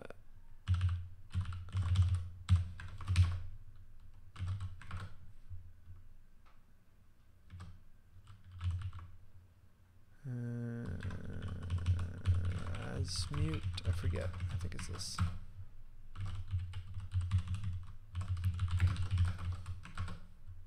So this compiles, and there is now no unsafe code here whatsoever. So how did we do this? Well, the box guarantees that moving my future will not move the f. The pin guarantees that there's no way to move the f anymore unless it's unpin, right? Because it the pin pin wouldn't implement deref mute to the f, and you can't. So that means you can no longer get a mutable reference to the f unless it's unpin, which means that pin box is this neat construct that um, you can use to take things that are not unpin and make them unpin. And the reason is the box makes sure that it will never move right? The, the box makes sure that it has a stable location, so to speak. And the pin makes sure that you will never be able to move F unless it's unpinned. So in general, pin box is the way to go from things that are not unpinned to things that are unpinned. Of course, the downside is now there's a heap allocation here, which may or may not bother you. Um, but this is such a useful construct that if you look at box, you will see the box has a function called pin. You can give it a t, and notice this is any t, it's not bound by unpin at all, and it gives you a pin of box of t. If t does not implement unpin, if it implements unpin, you could move it just fine, right? Because the pin is going to implement deref mute. Um, but if t does not implement unpin, then x will be pinned in memory and unable to be moved right? The box is going to put it on the heap somewhere, and the pin is going to make sure that you can never get a mutable reference to it, or you can never get one um, safely. Of course, unsafely, you can do whatever you want. Yeah? Okay, so let's look at the implementation of this. Because uh, our intuition here is that uh, it's actually a little bit subtle why a pin box is safe to construct for any t. So let's look at what internally what it does. So there's a function into pin that takes a box t. In fact, we can look at this here first. Uh, into pin. So this takes any box t and gives you a pin box t. And remember, anything that's wrapped in a pin comes with the promise that the target type will never move again, right? So how can this function be safe? Right? This is what we just discussed. It is safe because the box makes sure that it has a stable address and the pin makes sure that you can't get a mutable reference to it anymore. And you will see that indeed internally it is it uses unsafe. It says new unchecked. It is not possible to move or replace the insides of a pin box T when T is not unpinned, so it's safe to pin it directly without any additional requirements. And this is basically the, the, the short version of the long roundabout way we've, we've got at this now. Yeah? Okay, so writing all of this unsafe code should make us all feel a little bit uncomfortable, right? Um, so let's see if there isn't a better way. Uh, let's sort of save this by putting it in a comment because that's how we save. Um,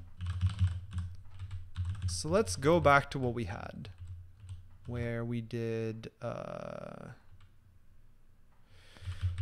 let f is unsafe self uh, map unchecked mute this this dot f f dot poll cx and this is not need unsafe uh, great. And we have this async foo that's going to use my future. Right so this is remember this is how we wrote it without having to use box uh, and it required this like one line of unsafe. But ideally when you write code like this you don't really want to have unsafe if you can avoid it and so there's this really neat library called pin project um, which basically takes away much of the pain of dealing with this these invariants on your own. So let's go to our cargo toml and let's add pin project equals 040 alpha 11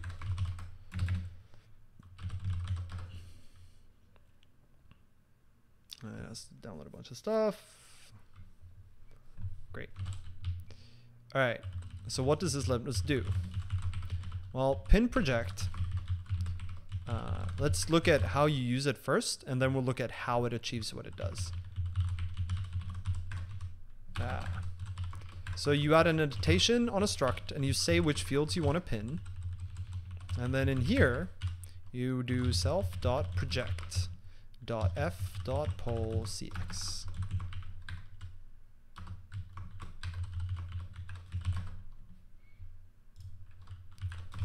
So notice that I added some annotations and then I replaced the unsafe code with this project call. And it compiles. There's no unsafe code right? No unsafe code, and we get the same thing that we got before. Yeah? So that seems really neat. It would be great if we could just always do this. And in fact, pin project, you can I've used this in a lot of situations already, but it's useful to dig into what does it really do under the hood. And also, you'll see something weird here. Like let's say that this had a T and this also holds a T. Notice that we've not added the pin annotation to the T. Let me place this over here. Uh, FT. Uh, let me just build up a little bit of an example here. My future FT. Ah. My future FT.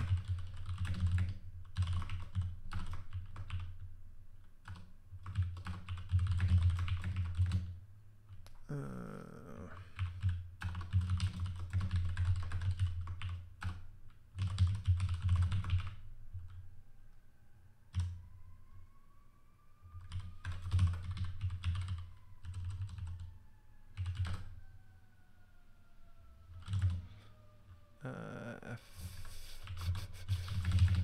F fn bar. So this is going to create a Where's my example of this? Down here. Uh, x dot get t. Uh, t is going to be, uh, I don't know. In fact, t is also going to be something that's unpin.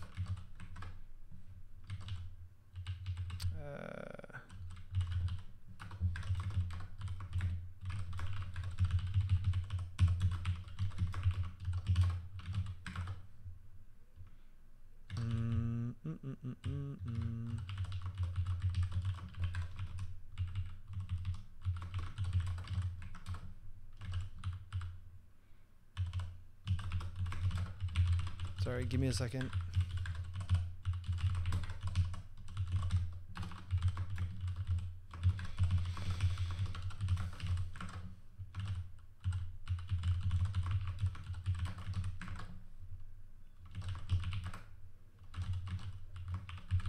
I will explain in a second. I just need to uh, write some code to talk about first. Uh, uh, uh, uh.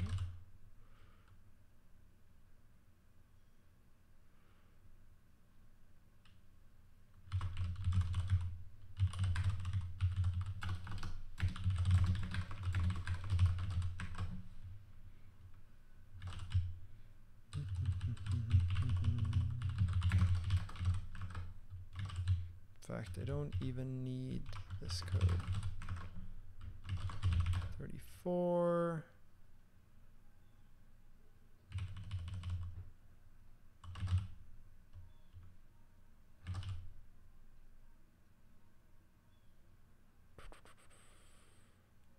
Oh, that's annoying. Fine. Mm, mm, mm, mm, mm, mm, mm, mm.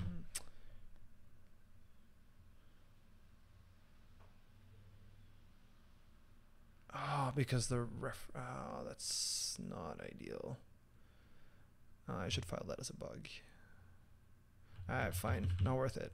Fine. Um, in any case, uh, if we have a field that is not marked as pin, uh, in fact, fine, fine, fine, fine, fine, fine. Uh, then let's do this just to demonstrate what happens. I can do this dot t is bar. And then I can do this dot f dot poll. Uh, I meant buzz.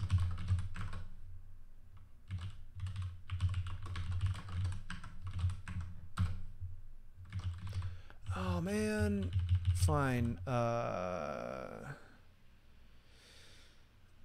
I don't have a type to use here. Option. uh, is none.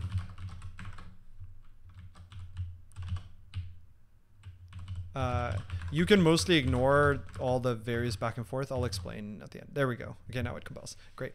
Um, so notice here that I have a T that is also totally unbound, right? It may be unpinned, it might not be unpinned. Um, and inside of poll, I'm allowed to change T, even though I have a pin mute self. And this F, so remember this, in order to call this, I need one of these. In order to call this, I need one of these. Yeah? And that works. Right? This compiled just fine. If I try to do this, uh, if we made this also an option, which is a little bit annoying, but uh, as pin mute unwrap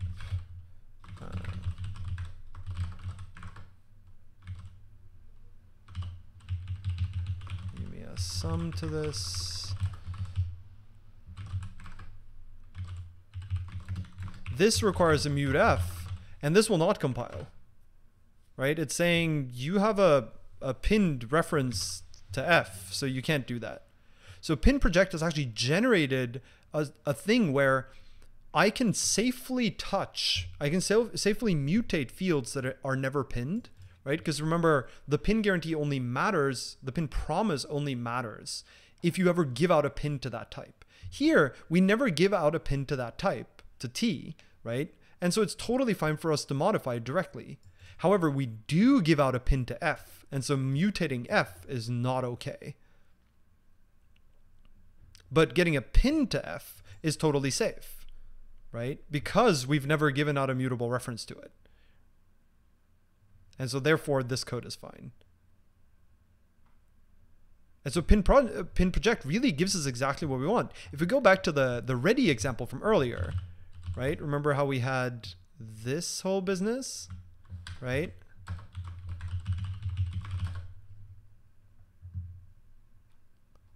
Uh, if we remove this unpin, then now this won't work, right? Because uh, T isn't ready isn't necessarily unpinned, so pin won't be deref.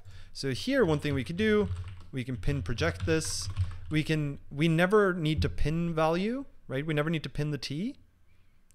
And so now pin project adds this project method here, and now this will just work.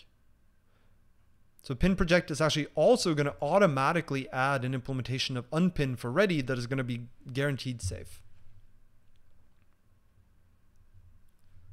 So if we now do cargo check, uh, I guess this still doesn't work, right? Because it's not okay. But this compiles.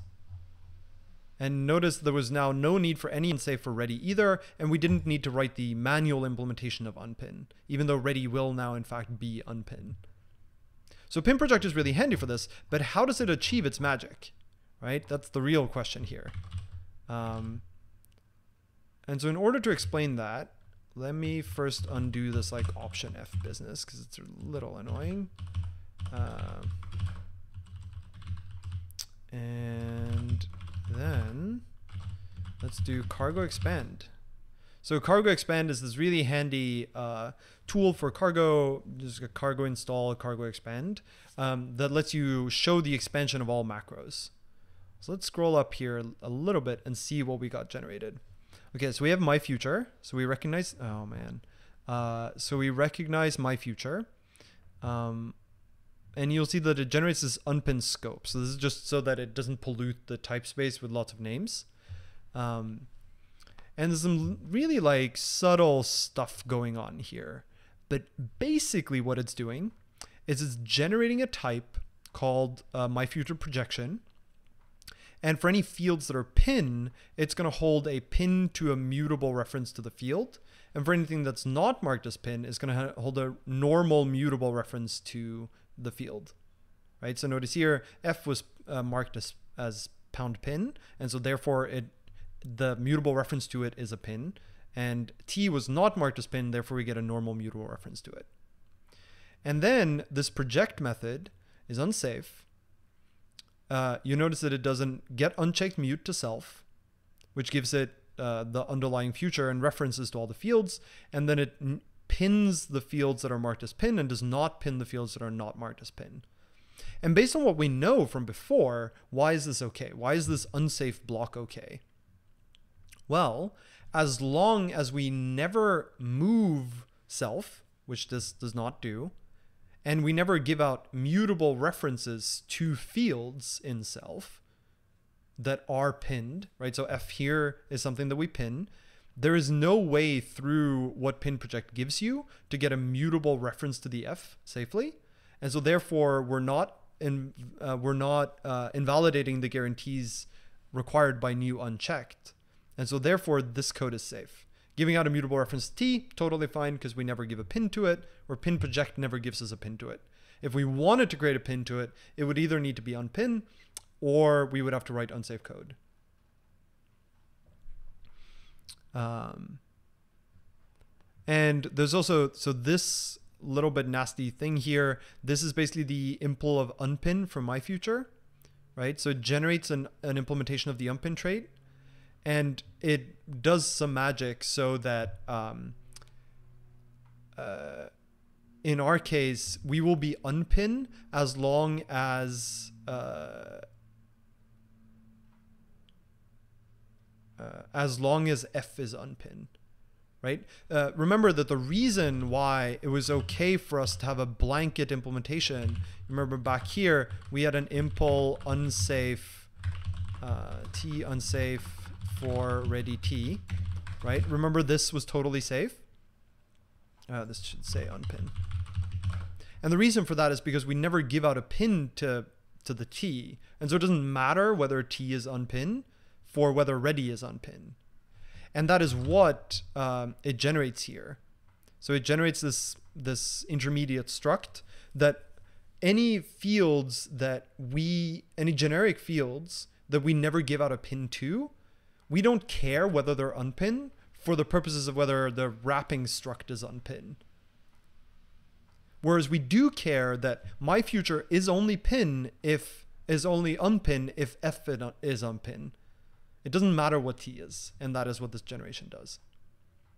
So pin project will give us um, safe pinned references to any fields we need to be pinned, self safe mutable references to any fields that are not pinned, and a correct implementation of unpin for our type, even when it has generics. Um, it also does the same for uh, for like uh, enums where you have pinned fields and variants and stuff. Um, the other thing that's sort of neat uh, that actually pin gives you is um, if I have, and this might strike you as weird, remember this f here. So this dot f is a pin mute f, right? I have a set method that lets me do this.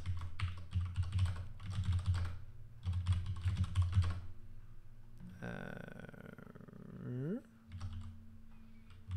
buzz. Oh man, I'm gonna have to make this an option again. Uh, some uh, as pin mute unwrap.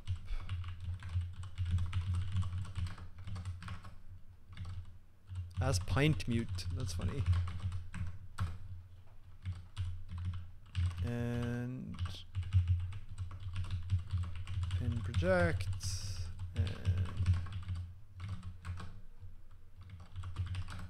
21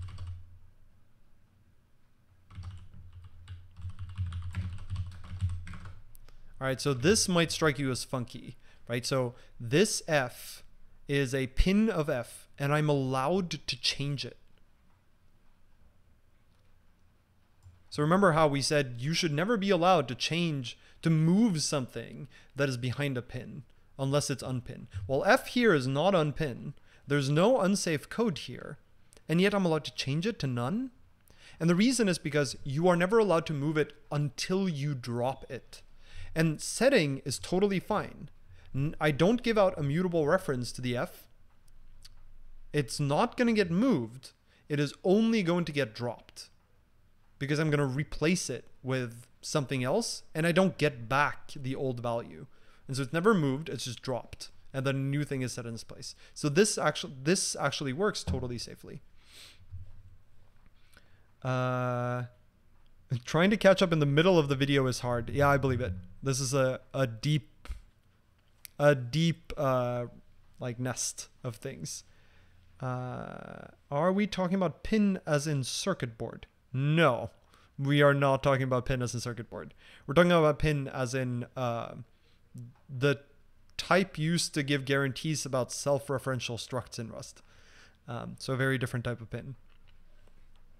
Um, yeah, so pin project is really neat for these types of things. Um, it handles basically every use case I've thrown thrown at it, uh, and the author is also very receptive to um, to bug reports and such. Although I've found relatively few, and so this is a very nice way to deal with pins. It, the um, to deal with pins without having to write unsafe code. And this has nothing to do with futures really, right? Like you can use pin project for anything that requires pin. It's just that currently you don't really require pin for many things that are not futures. Because most things are unpin unless they happen to contain async fns, which are futures. Um, now, that said, these are things that might change. So for example, um, if Rust gets generators, so generators would be something like, um, I don't know what the syntax will be, but like numbers. Um,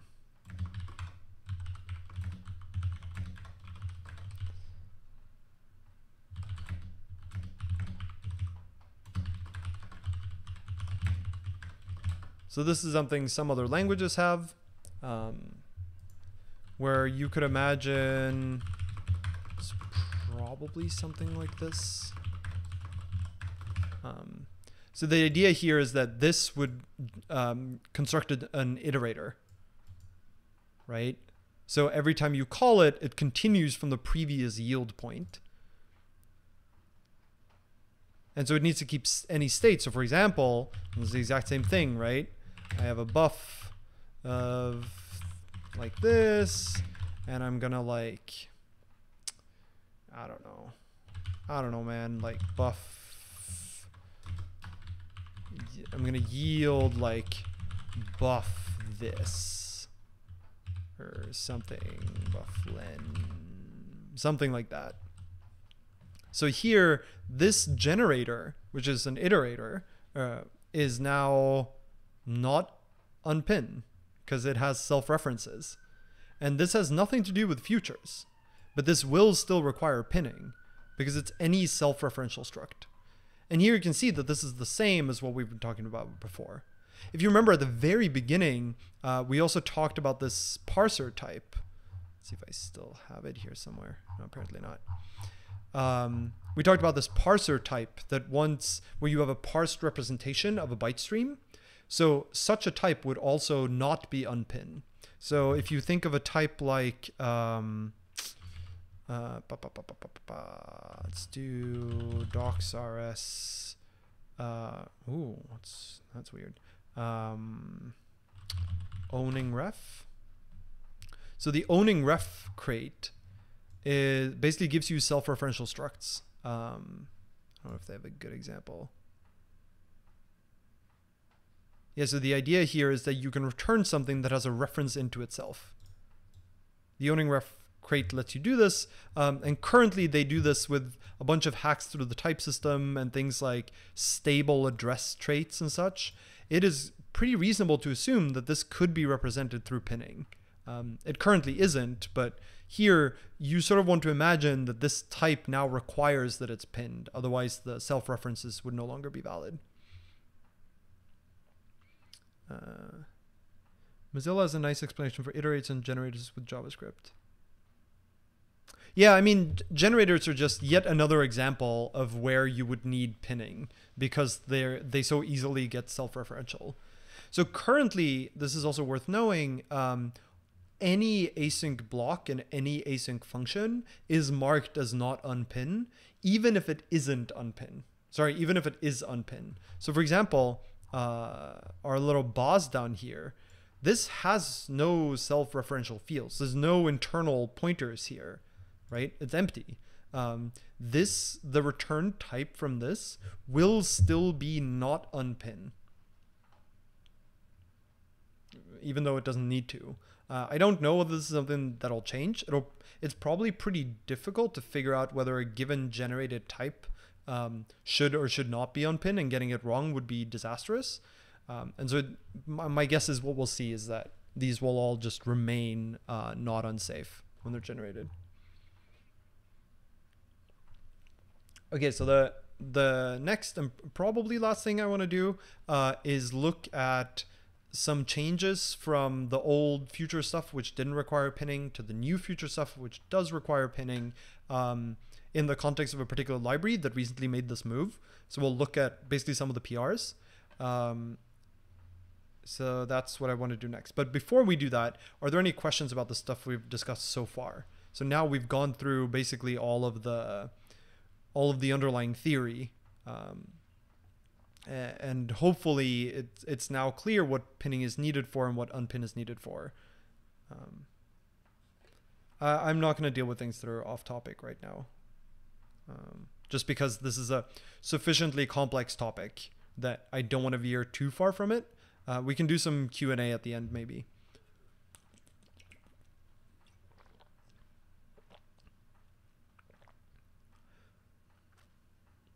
Um, so probably when we demonstrated examples of code that is not okay by using memreplace, we needed to call poll on the returned value, not on the new value. Um, yes, you're right. Uh, the poll would be on the actually they're they've both been moved, so they're both invalidated. But yeah, I mean, uh, the problem doesn't arise until you use the pin again, probably. Um, but nonetheless, like it, you shouldn't do it in the first place. Um, if set is okay.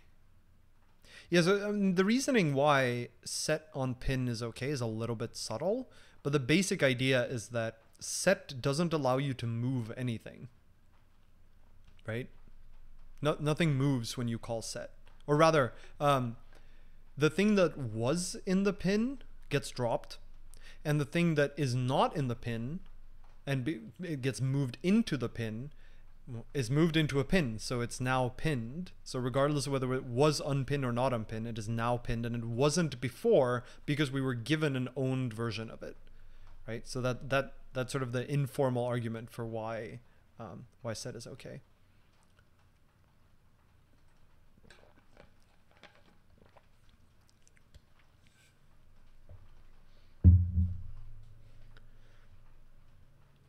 All right.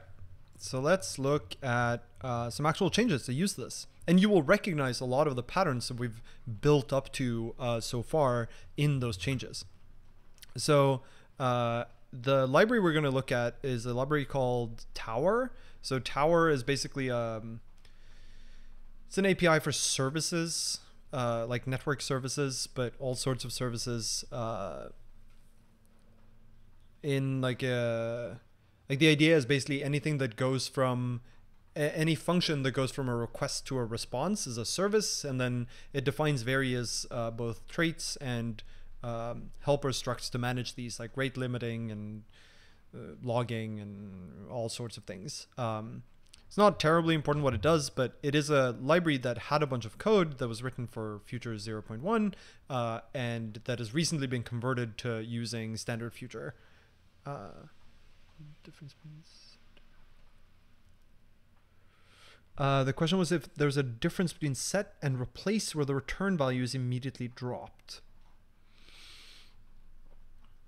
Mm, I think those are equivalent. But I don't want to say for sure. Actually, we could look at this. So, um, sorry for the slight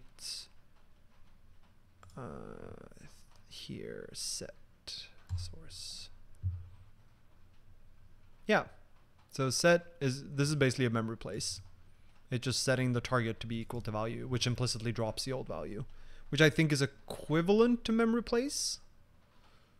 Uh, or rather, it's equivalent to mem replace where you immediately drop the return value, I think. Um, so a warning for those of you in rooms with uh, like where it's all dark now. Uh, my GitHub is light, so this will become very bright for you. Um, all right. So as you can see from the the closed pull requests, like a bunch of these are update like particular module to standard future. So let's take a look at some of these. Um, let's start with some of the early ones. Uh, let's start with like tower load.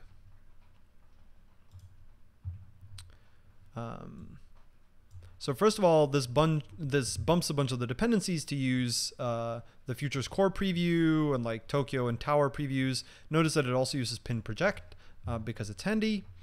Uh, and so here we have a bunch of types and some of them we never give out pins to, right? So we add pin project to them um, just so that we're able to mutate their inner fields even in a pin context, right? So we might, in fact, if we scroll further down, you'll see here that we want to um, uh, we want to implement the no, that's a bad example. Um, well, actually, I can explain it without that. Uh, there are cases where you have a pin to one of these, and you want to mutate either inner or load. And mutating either of them is fine because we never give out a pin to a T or a pin to an M. Uh, and so therefore, we sort of basically we want to implement unpin for this type. But if you recall from back when we were when we wrote the um, the manual impl of unpin for ready, it's so easy to like someone will write an unsafe block somewhere else in the file and that causes it everything to be broken because of that impl line. So this is why I prefer, even in those cases, to add um, pin project to it because that will guarantee that no one will break it later. Um, uh, some of it is just adding these context things um, that are now required. Uh, you'll notice that service, in fact, this might be worth talking about separately, uh, although it's a while ago. So if we look at Docs Tower Service, so this is an interesting trade-off.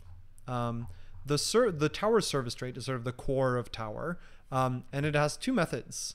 It has poll ready and it has call.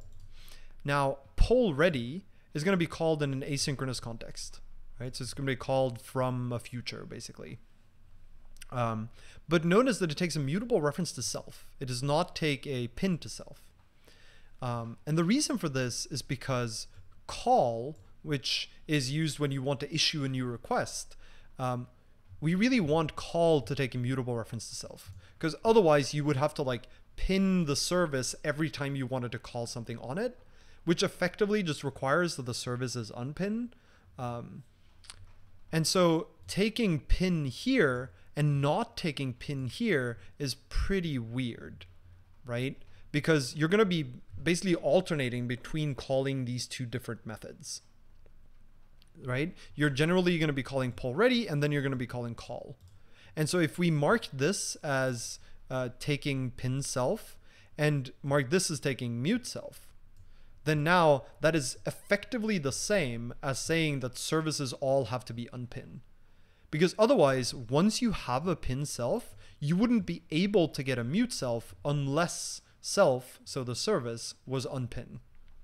Similarly, um, if we made, and so, so this is equivalent to saying that service must be unpin, but just without have, requiring the user to write like pin new in the first place.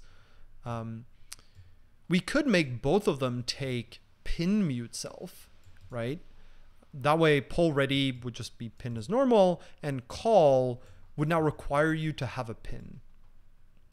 But that makes it a little bit awkward too, because it means that first of all, anyone who wants to use a service needs to pin it before using it. And second of all, anyone who implements the service trait would have to deal with the fact that call can't mutate self, like things inside of self. So it just makes the API a little bit more awkward. Like implementers would have to use pin project, uh, project and callers would have to pin things. Um, but this is actually an ongoing debate. This is part of the reason why Tower, the the Tower on standard um, on standard future is still in alpha. Um, I think there's an open issue tracking this basically where uh, here.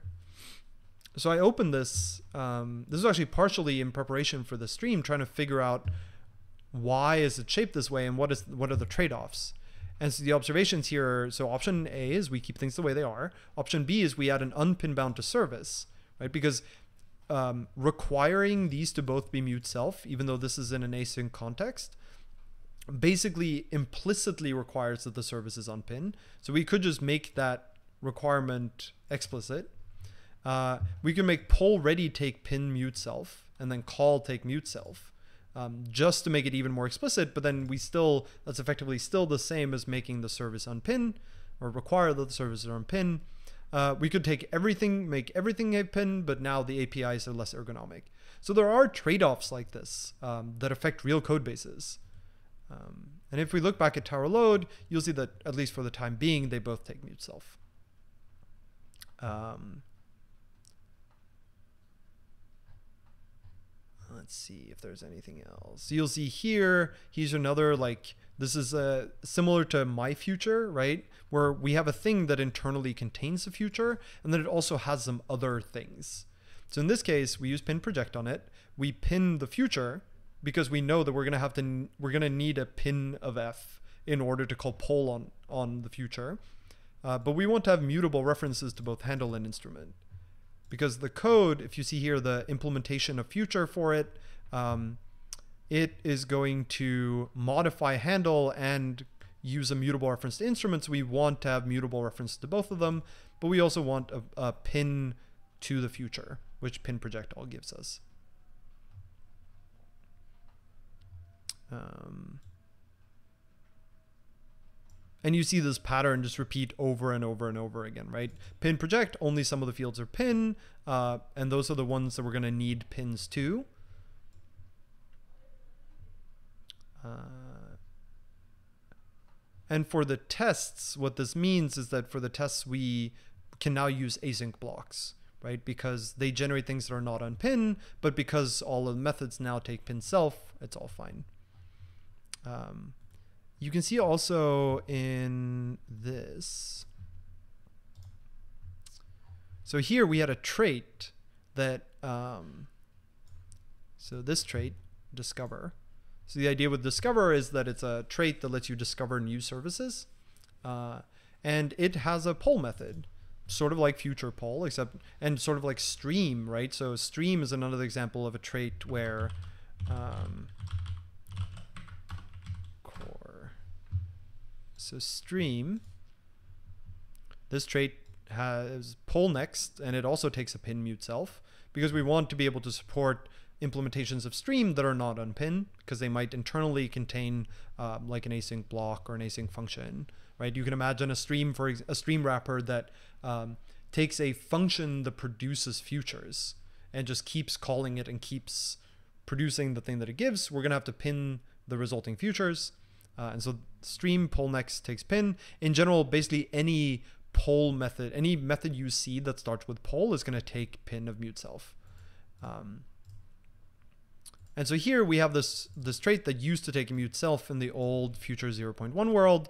Um, and in the new world, uh, it now takes a pin self in this context. And that also caused um, all implementers of that trait. So for example, here we have service list. Um, they now all need to take pin self and you need to use pin project in this case um, to access the thing that we don't even pin. So the field isn't marked as pin. So that gives us mutable references to it because we never pin it. So we never give that promise. Um, and here is an implementation of discover for stream. So here we're going to have to pin the inner stream. And so therefore use pin project with pin. Um, and that lets us project the inner, which gives us a pin of the inner stream, which we can then pull. So in general, for, for almost all, feel free to look through these PRs. They're pretty straightforward um, and see if there's anything you spot that's weird. Uh, in general, I think what really helps is um, the pin project crate is great. I do think it's important to understand what it's doing under the hood and why what it's doing is safe, which hopefully the explanation today has done. Um, uh, remember how back when we started talking about pin, how um, here. Um, ba, ba, ba, so we talked about this drop guarantee and the drop implementation. So you might wonder, well, what happens if you use pin project on a type that implements drop, right? Remember how drop you you have this additional requirement that you don't move even though you're given mute self and drop. And the way pin project handles this is if you try to use pin project on a type that implements drop, uh, then it won't compile.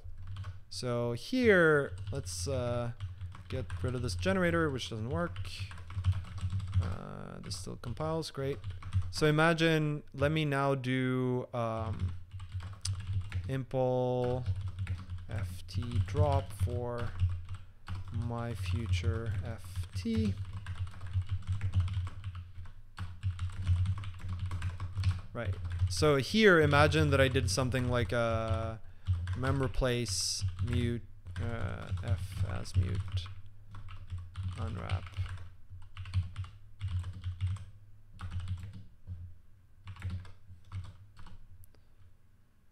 Uh,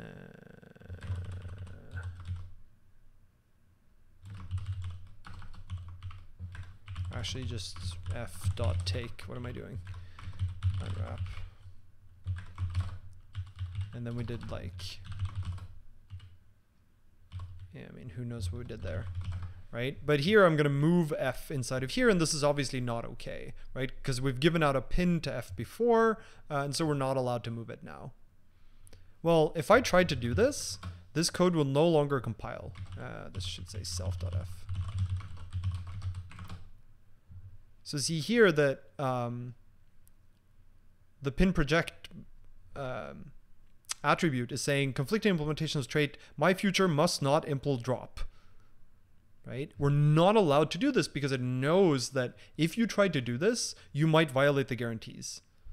And so pin project will not even let you do this. And so there's this uh, pin drop thing where um, if you do this, if you really want to implement drop for your type, then you do this business is like a whole invocation you do. Uh, and my future FT.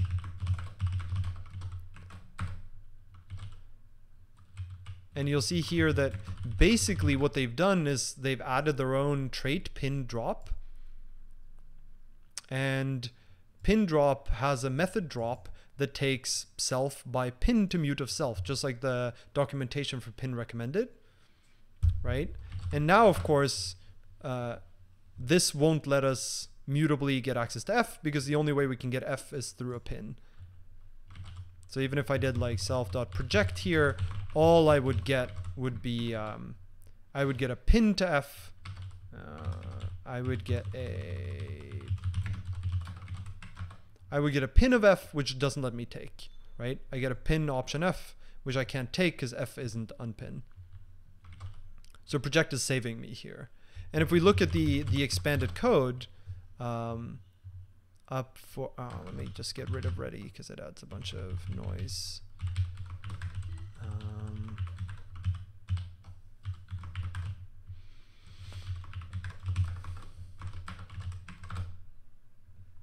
so where do we have it? Up here. So here's my future. And you see there's an impl of drop for my future, which pins self and then calls the the pinned drop drop method on self.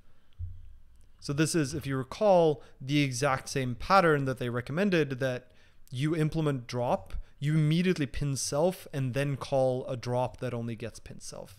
So pin project is here implementing that pattern for you and it's doing such a way in such a way that you won't accidentally violate it.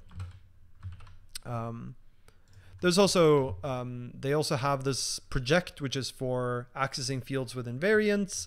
Um, and there's also unsafe pin when you want to generate an unpin implementation that is sort of unsafe according to the rules the pin project knows about, um, but that you, for some reason, know that it's safe.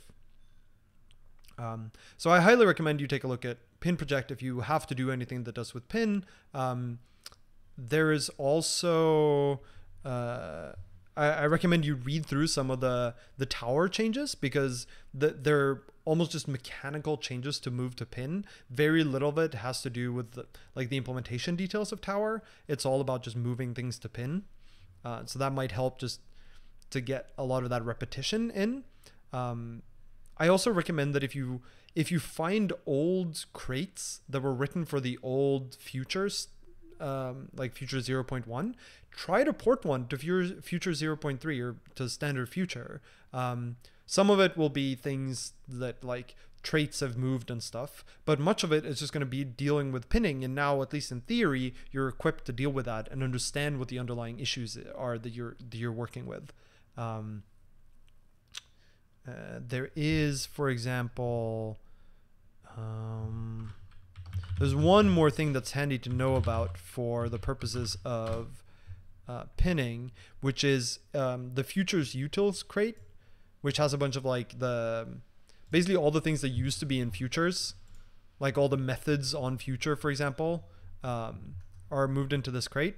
And one of the things it provides is this macro called pin mute. Um, so pin mute is actually very straightforward, but it's just a handy thing to know about, which is um, actually, maybe I can demonstrate down here with uh,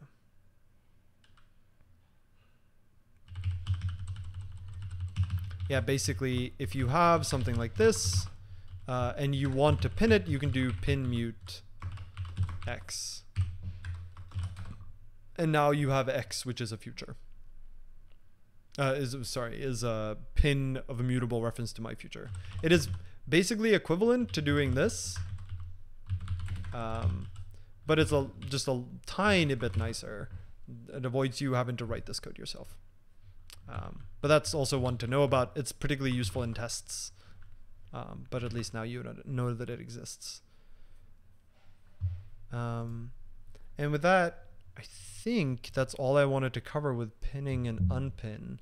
Um, are there any questions? Uh, let's do questions about pinning and unpinning first, or things you would like me to explain again. This is like fairly technical content. There's a lot of just subtle interactions um, that can be hard to follow. And even though like we've been doing this now for like almost three hours, um, it, it is hard to put words to exactly how these inter- interactions work. And so explaining some of them again might help. Uh, I'll do off-topic questions afterwards.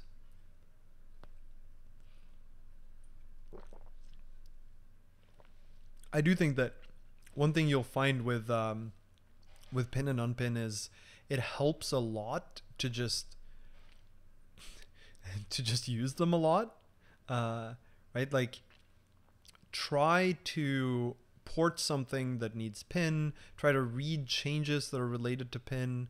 Um, try to read like the documentation of standard pin and see if you follow it. And if you don't, then like just keep at it. Um, because after a while it, it clicks a little what um, what is needed and why. Um, um but it, it just takes it takes exposure really. Um, will this stream be available when it's not live? Yes. I put the recordings of all the streams on uh, YouTube afterwards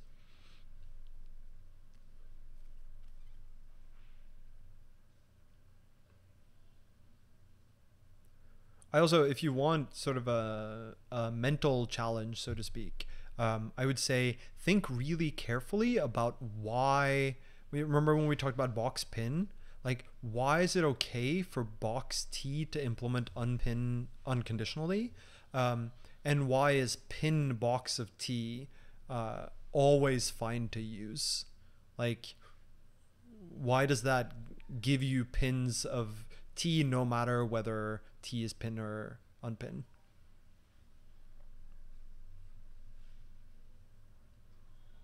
All right, I think if there are no more questions about pin, let's like pin that for later uh, and do like general Q&A. Um, I'll put, so in the, when I post the video, I'll put uh, time codes to when we covered the different parts of pin and unpin and also a pointer to um, like basically now and when we do general Q&A. So if you have general Q&A about Rust, the ecosystem, async, me, anything, now's the time. I'd like to start writing some CLI tools in Rust. Do you have specific crate recommendations for that? Well, it depends what you're trying to write. Um, I think structopt is great. Uh, clap is also really good. Um, but I don't have any recommendations sort of beyond that. It really depends on what you want your tools to do. Um, let's see, there was one further up here too. Uh, this is NeoVim. It's not Emacs and it's not, I mean, it is Vim, but it's not Vim, it's NeoVim. Uh, and I have someone asked me about my desktop environment earlier. Uh, I have a separate video where I go through like what my desktop environment is like and how it's configured, and all my configs are online. Um,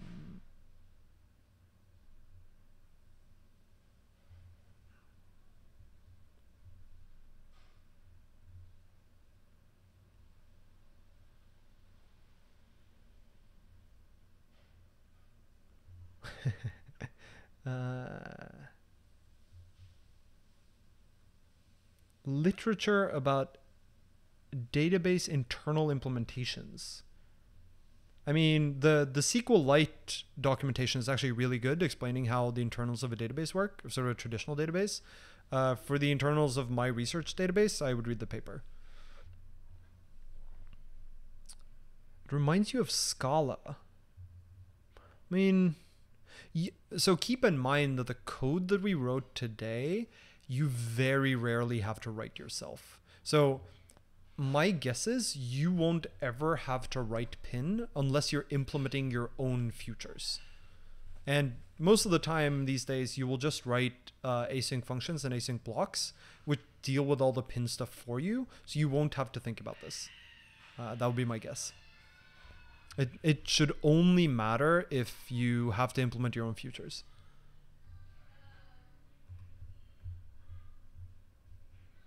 Um, how do you get error messages in Vim? Is that ale? Yes, that is ale. Ale is super handy for this. It's ale plus uh, RLS. Although I actually mostly find that I don't I don't want warnings while typing. Uh, I would rather switch to a separate terminal and get the errors and warnings there. Uh, oh, I'm glad you think so. I mean, the the topic we covered today is really challenging, like arguably more so than the the stream on on how futures work, because this is like very technical and nitty gritty and subtle and like theoretical detail. Um, so if you followed along, like I'm very happy. It, it's hard to to to talk through it because so much of it is just uh, I don't want to say ingrained, but I've just I've done so many of these changes to pin now that it's it's almost like in the fingers and it's hard to put words to why things work the way they do. So hopefully this made sense in the end. Um, uh, Rust completions. Uh, I'm using RLS for that, and language client NeoVim. Yeah.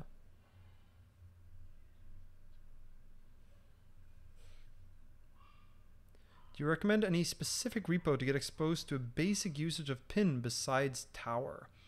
Um, yeah, one thing you can look at is uh, there are a bunch of crates that give sort of handy combinators, like smaller things. So, for example, you could look at. Um, what's an example of this? Like a while ago, I ported.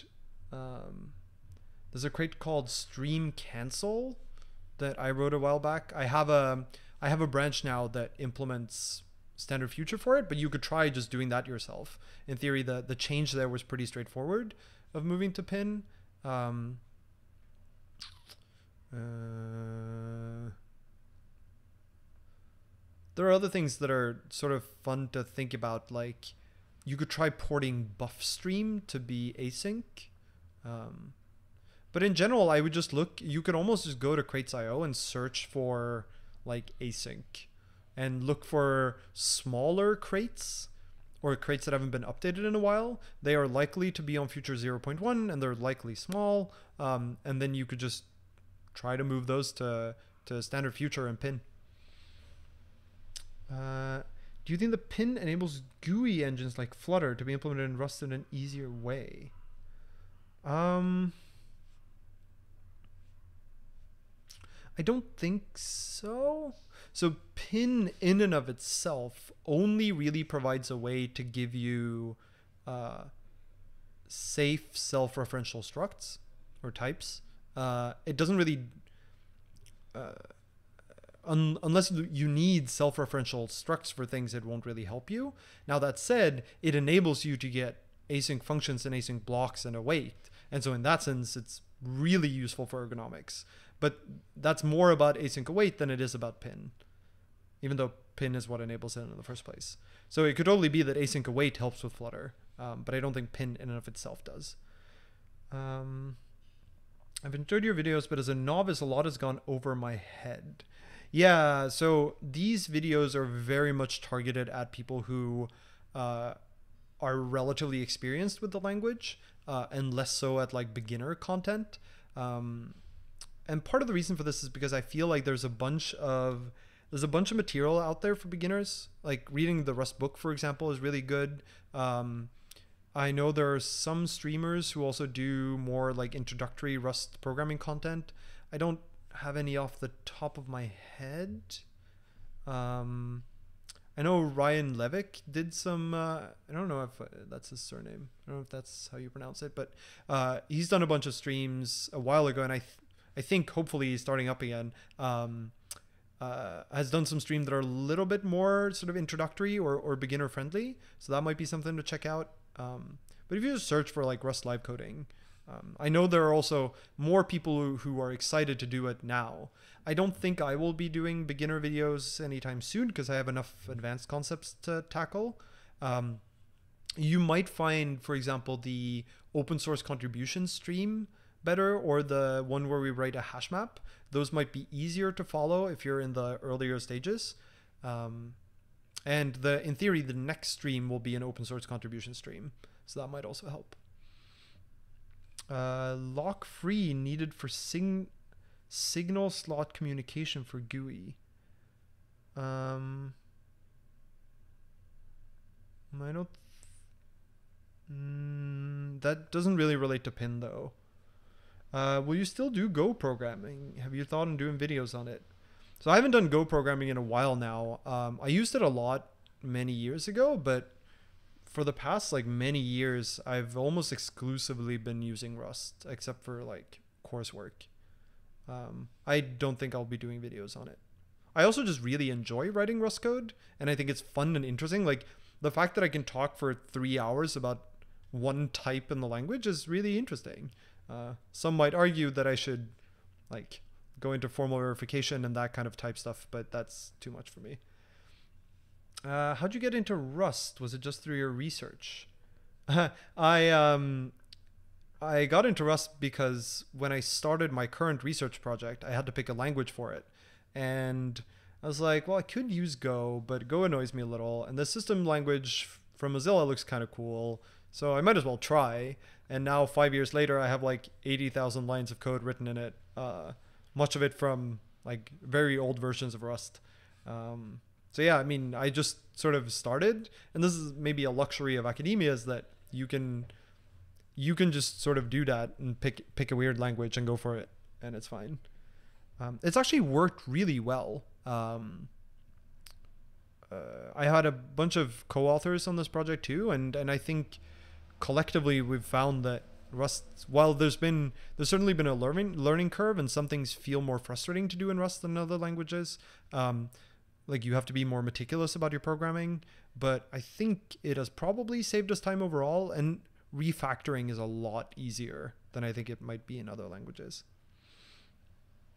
uh, when will you tackle lifetimes the ultimate advanced rust topics so what about lifetimes is it you want covered because to me lifetimes aren't that complicated or I should rephrase.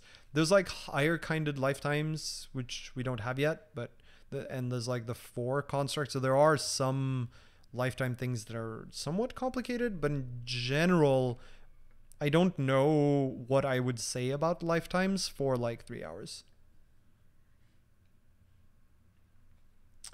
Uh, we we just finished for today, but uh, the topic for today was uh, pin and unpin.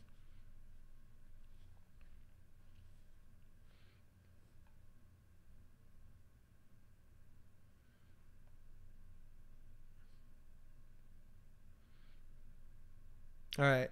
I think. Oh. Uh, implicit lifetimes makes learning and understanding lifetimes hard at first. Maybe. So, I mean, implicit lifetimes are. They are a little annoying because it, it hides you from things that will show up in errors later. Um, so, that's possibly true. Uh, Oh yeah, the TCP series was pretty fun. It's a good combination of like real world, but also a lot of Rust. Oh, I see. It's true. Lifetimes have become like uh, the uh, a sort of canonical advanced Rust topic, even though like when you work with the language every day, lifetimes are just not generally my issue.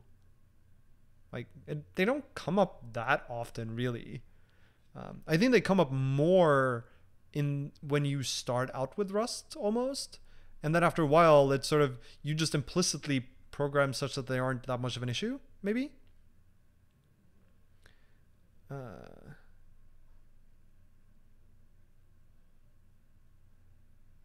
is async std in combination with spin equivalent to normal std?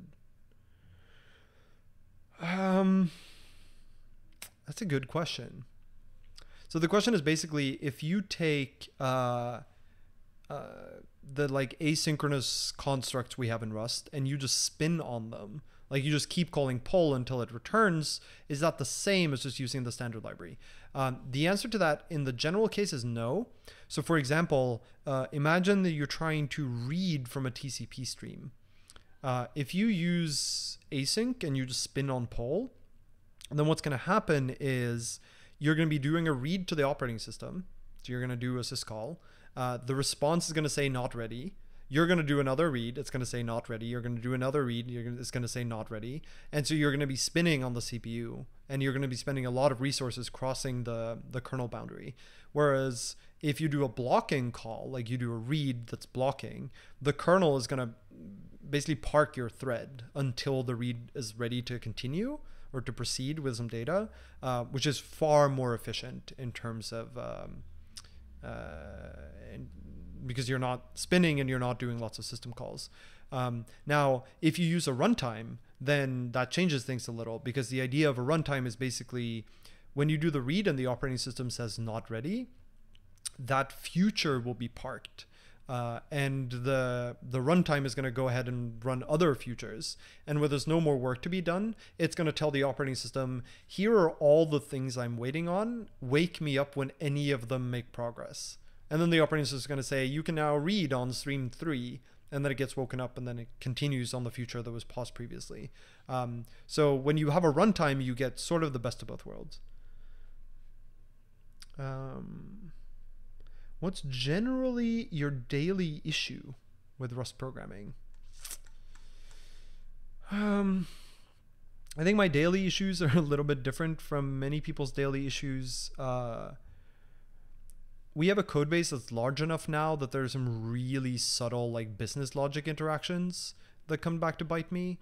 Um, I think the biggest issue I have that's like a general Rust issue um, is uh, when I have so I'm using Tokio as my runtime and I have lots of futures running all over the place. Many of them are manual implementations.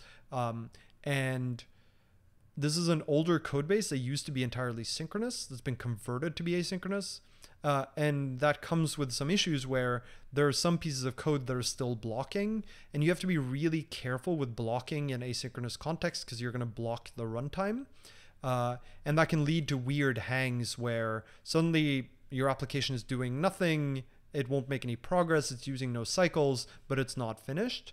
Um, and figuring out like why futures are hanging is a pain. So I spend too much time on that. Uh, when will the next live stream be? If you happen to know, no pressure. Um, that's a good question. I don't know yet. Uh, my parents are going to be in town next week. Um, so probably not next weekend.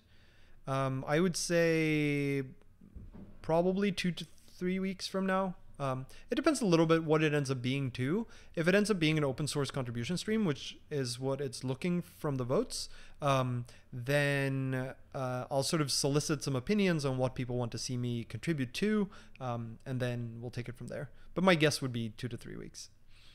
Uh, do you think it's worthwhile to learn Rust if you already know C and Haskell? Yes, absolutely. Um, I think C is a very handy language for doing like very low level work. It's also a handy language to know just to know sort of how the computer works in some sense. Um, at this point, there are very few things I would use C for um, instead of Rust. Like I feel like I would just use Rust instead. Uh, and Haskell so Haskell, you can't write performance software in Haskell, or it's very hard. Um, and I kind of like the imperative style. I don't want everything to be functional. Um, so, I mean, I, I think there's absolutely space between C and Haskell for another language. Uh, I think Rust is closer to replacing C than to replacing Haskell. But then again, I don't really know what software you would write in Haskell in the first place. Like I've I've dabbled a little bit in Haskell myself, and I don't think I would use it for anything. Although I do use it for my window manager, but that's separate. Um, have you ever looked into the embedded working group stuff that's being done in the Rust ecosystem? Um, a little bit.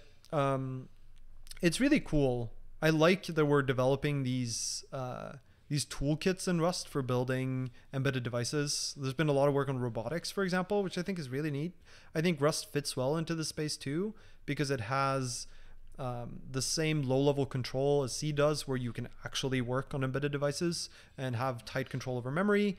Um, but at the same time, you get higher level constructs and, and more safety guarantees, which are necessary in embedded contexts.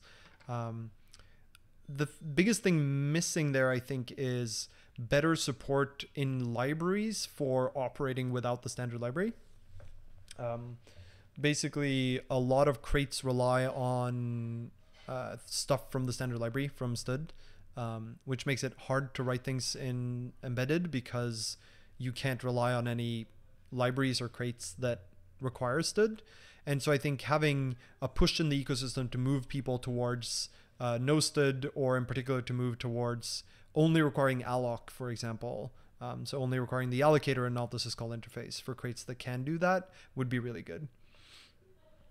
Uh, I'm the person that's been testing your PR to MySQL async. Oh yeah, that's been really cool. So what they're talking about here is uh, the MySQL async crate is Future 0.1, and I, I, I, did an effort to port it to standard Future, uh, and that now basically works. You can write like async and await around MySQL connections, which is really cool.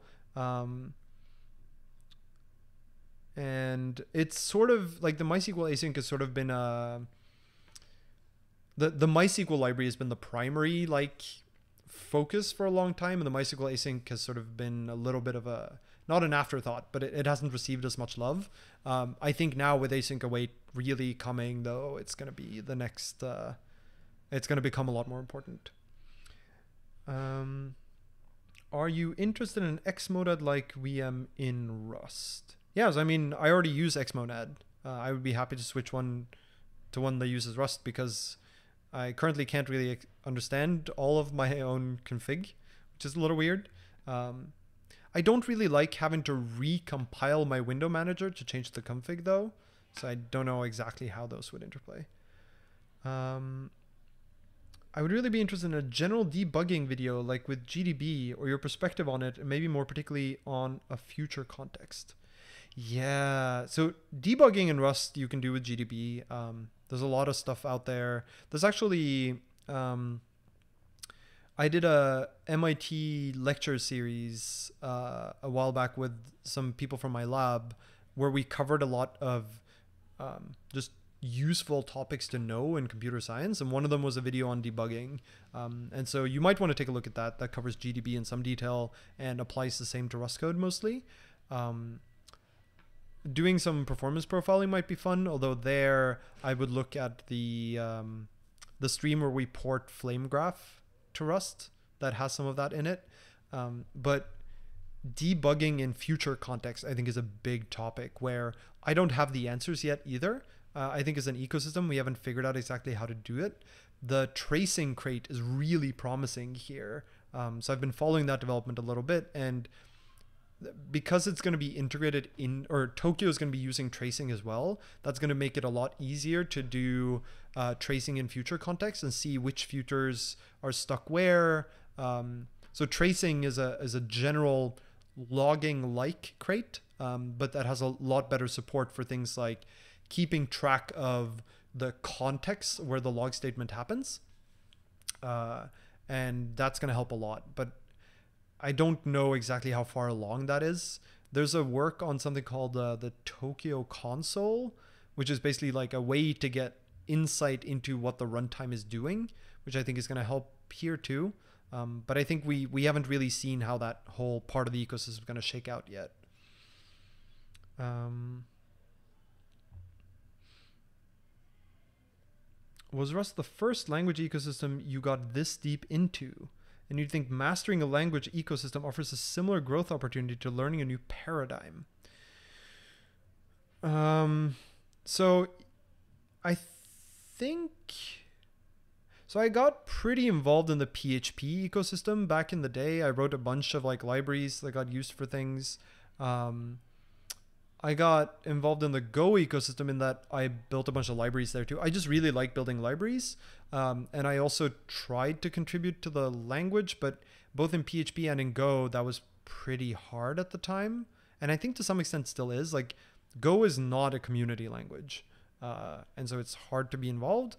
Whereas with Rust, uh, I also started writing libraries, um, but then I also got more involved with the community in part because community or the language is more community oriented. Um, and so I actually felt like I could contribute to the language as well. Uh, and so that was good. Uh, so, so in that sense, yes, it's the first one I got this deep into, but it's not the first time I get into ecosystems. Um, And do I think mastering a language ecosystem offers a similar growth opportunity to learning a new paradigm? I don't know how to parse that sentence, but I'm going to go with yes. I think getting involved with an ecosystem is uh, good for you as a programmer. Uh, that's what I have to say about that. Uh, did you take a look at the Bastion project? I don't think I know anything about Bastion. Uh, where's the lecture series? Uh, the lecture series are called Hacker Tools. Um, and it's at hacker-tools.github.io. Oh, sorry, this is light. Sorry, people at home. And it has uh, videos on a like short lecture videos and notes about a bunch of topics. And you'll see there's one on uh, where is it? Uh, program introspection. So on like debugging and profiling. So I would watch that video. Um, are there any problems or tasks for which Tokio runtime isn't a good fit and why? Um, so the Tokio runtime is multi-threaded. Um, and so there are some workloads where you really want single-threaded operation. Tokio has support for it, but it's less of a focus.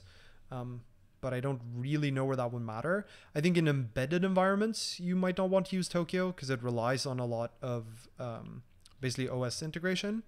Um, so in embedded context, you might want to write your own executors, for example.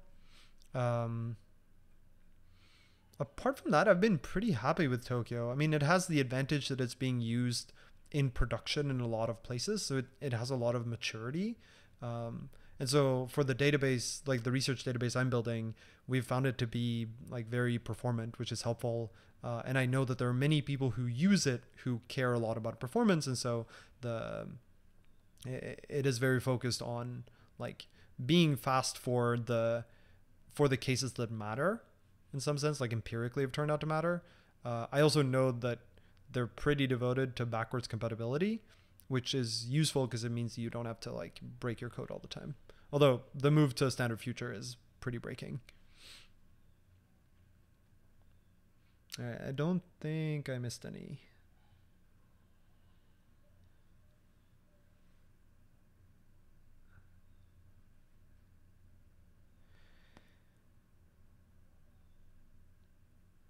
All right. I think with that, we're to call it a day. Um, if you have thoughts about the episode, like feel free to leave comments. I'm to upload the video shortly after this. Um, or if you have like follow ups, I've had a, a, bunch of streams now where people have posted really helpful comments and follow ups on uh, problems we ran into during the stream where they find solutions, references to explanations of particular concepts find any of those, let me know. Um, if you have ideas for upcoming um, upcoming streams that you want to see, just like ping me on Twitter, send me an email, um, and I'll try to add them to the voting site. Or if they're really great, I might just do them. Uh, and if you want to hear about upcoming streams, just like join the, just follow me on Twitter, or I'm also on Mastodon. Um, and that's where I announce all upcoming streams. They will all be on both YouTube and Twitch, just like this one. Uh, and if you want to support, the Amazon wishlist is there. Um, how does one get begin to get into all of this? Uh, you start from the beginning. You read the Rust book. It's very concrete and practical. Uh, thanks, everyone. Uh, it's been great, and I will see you next time. So long, farewell. Auf Wiedersehen. Goodbye.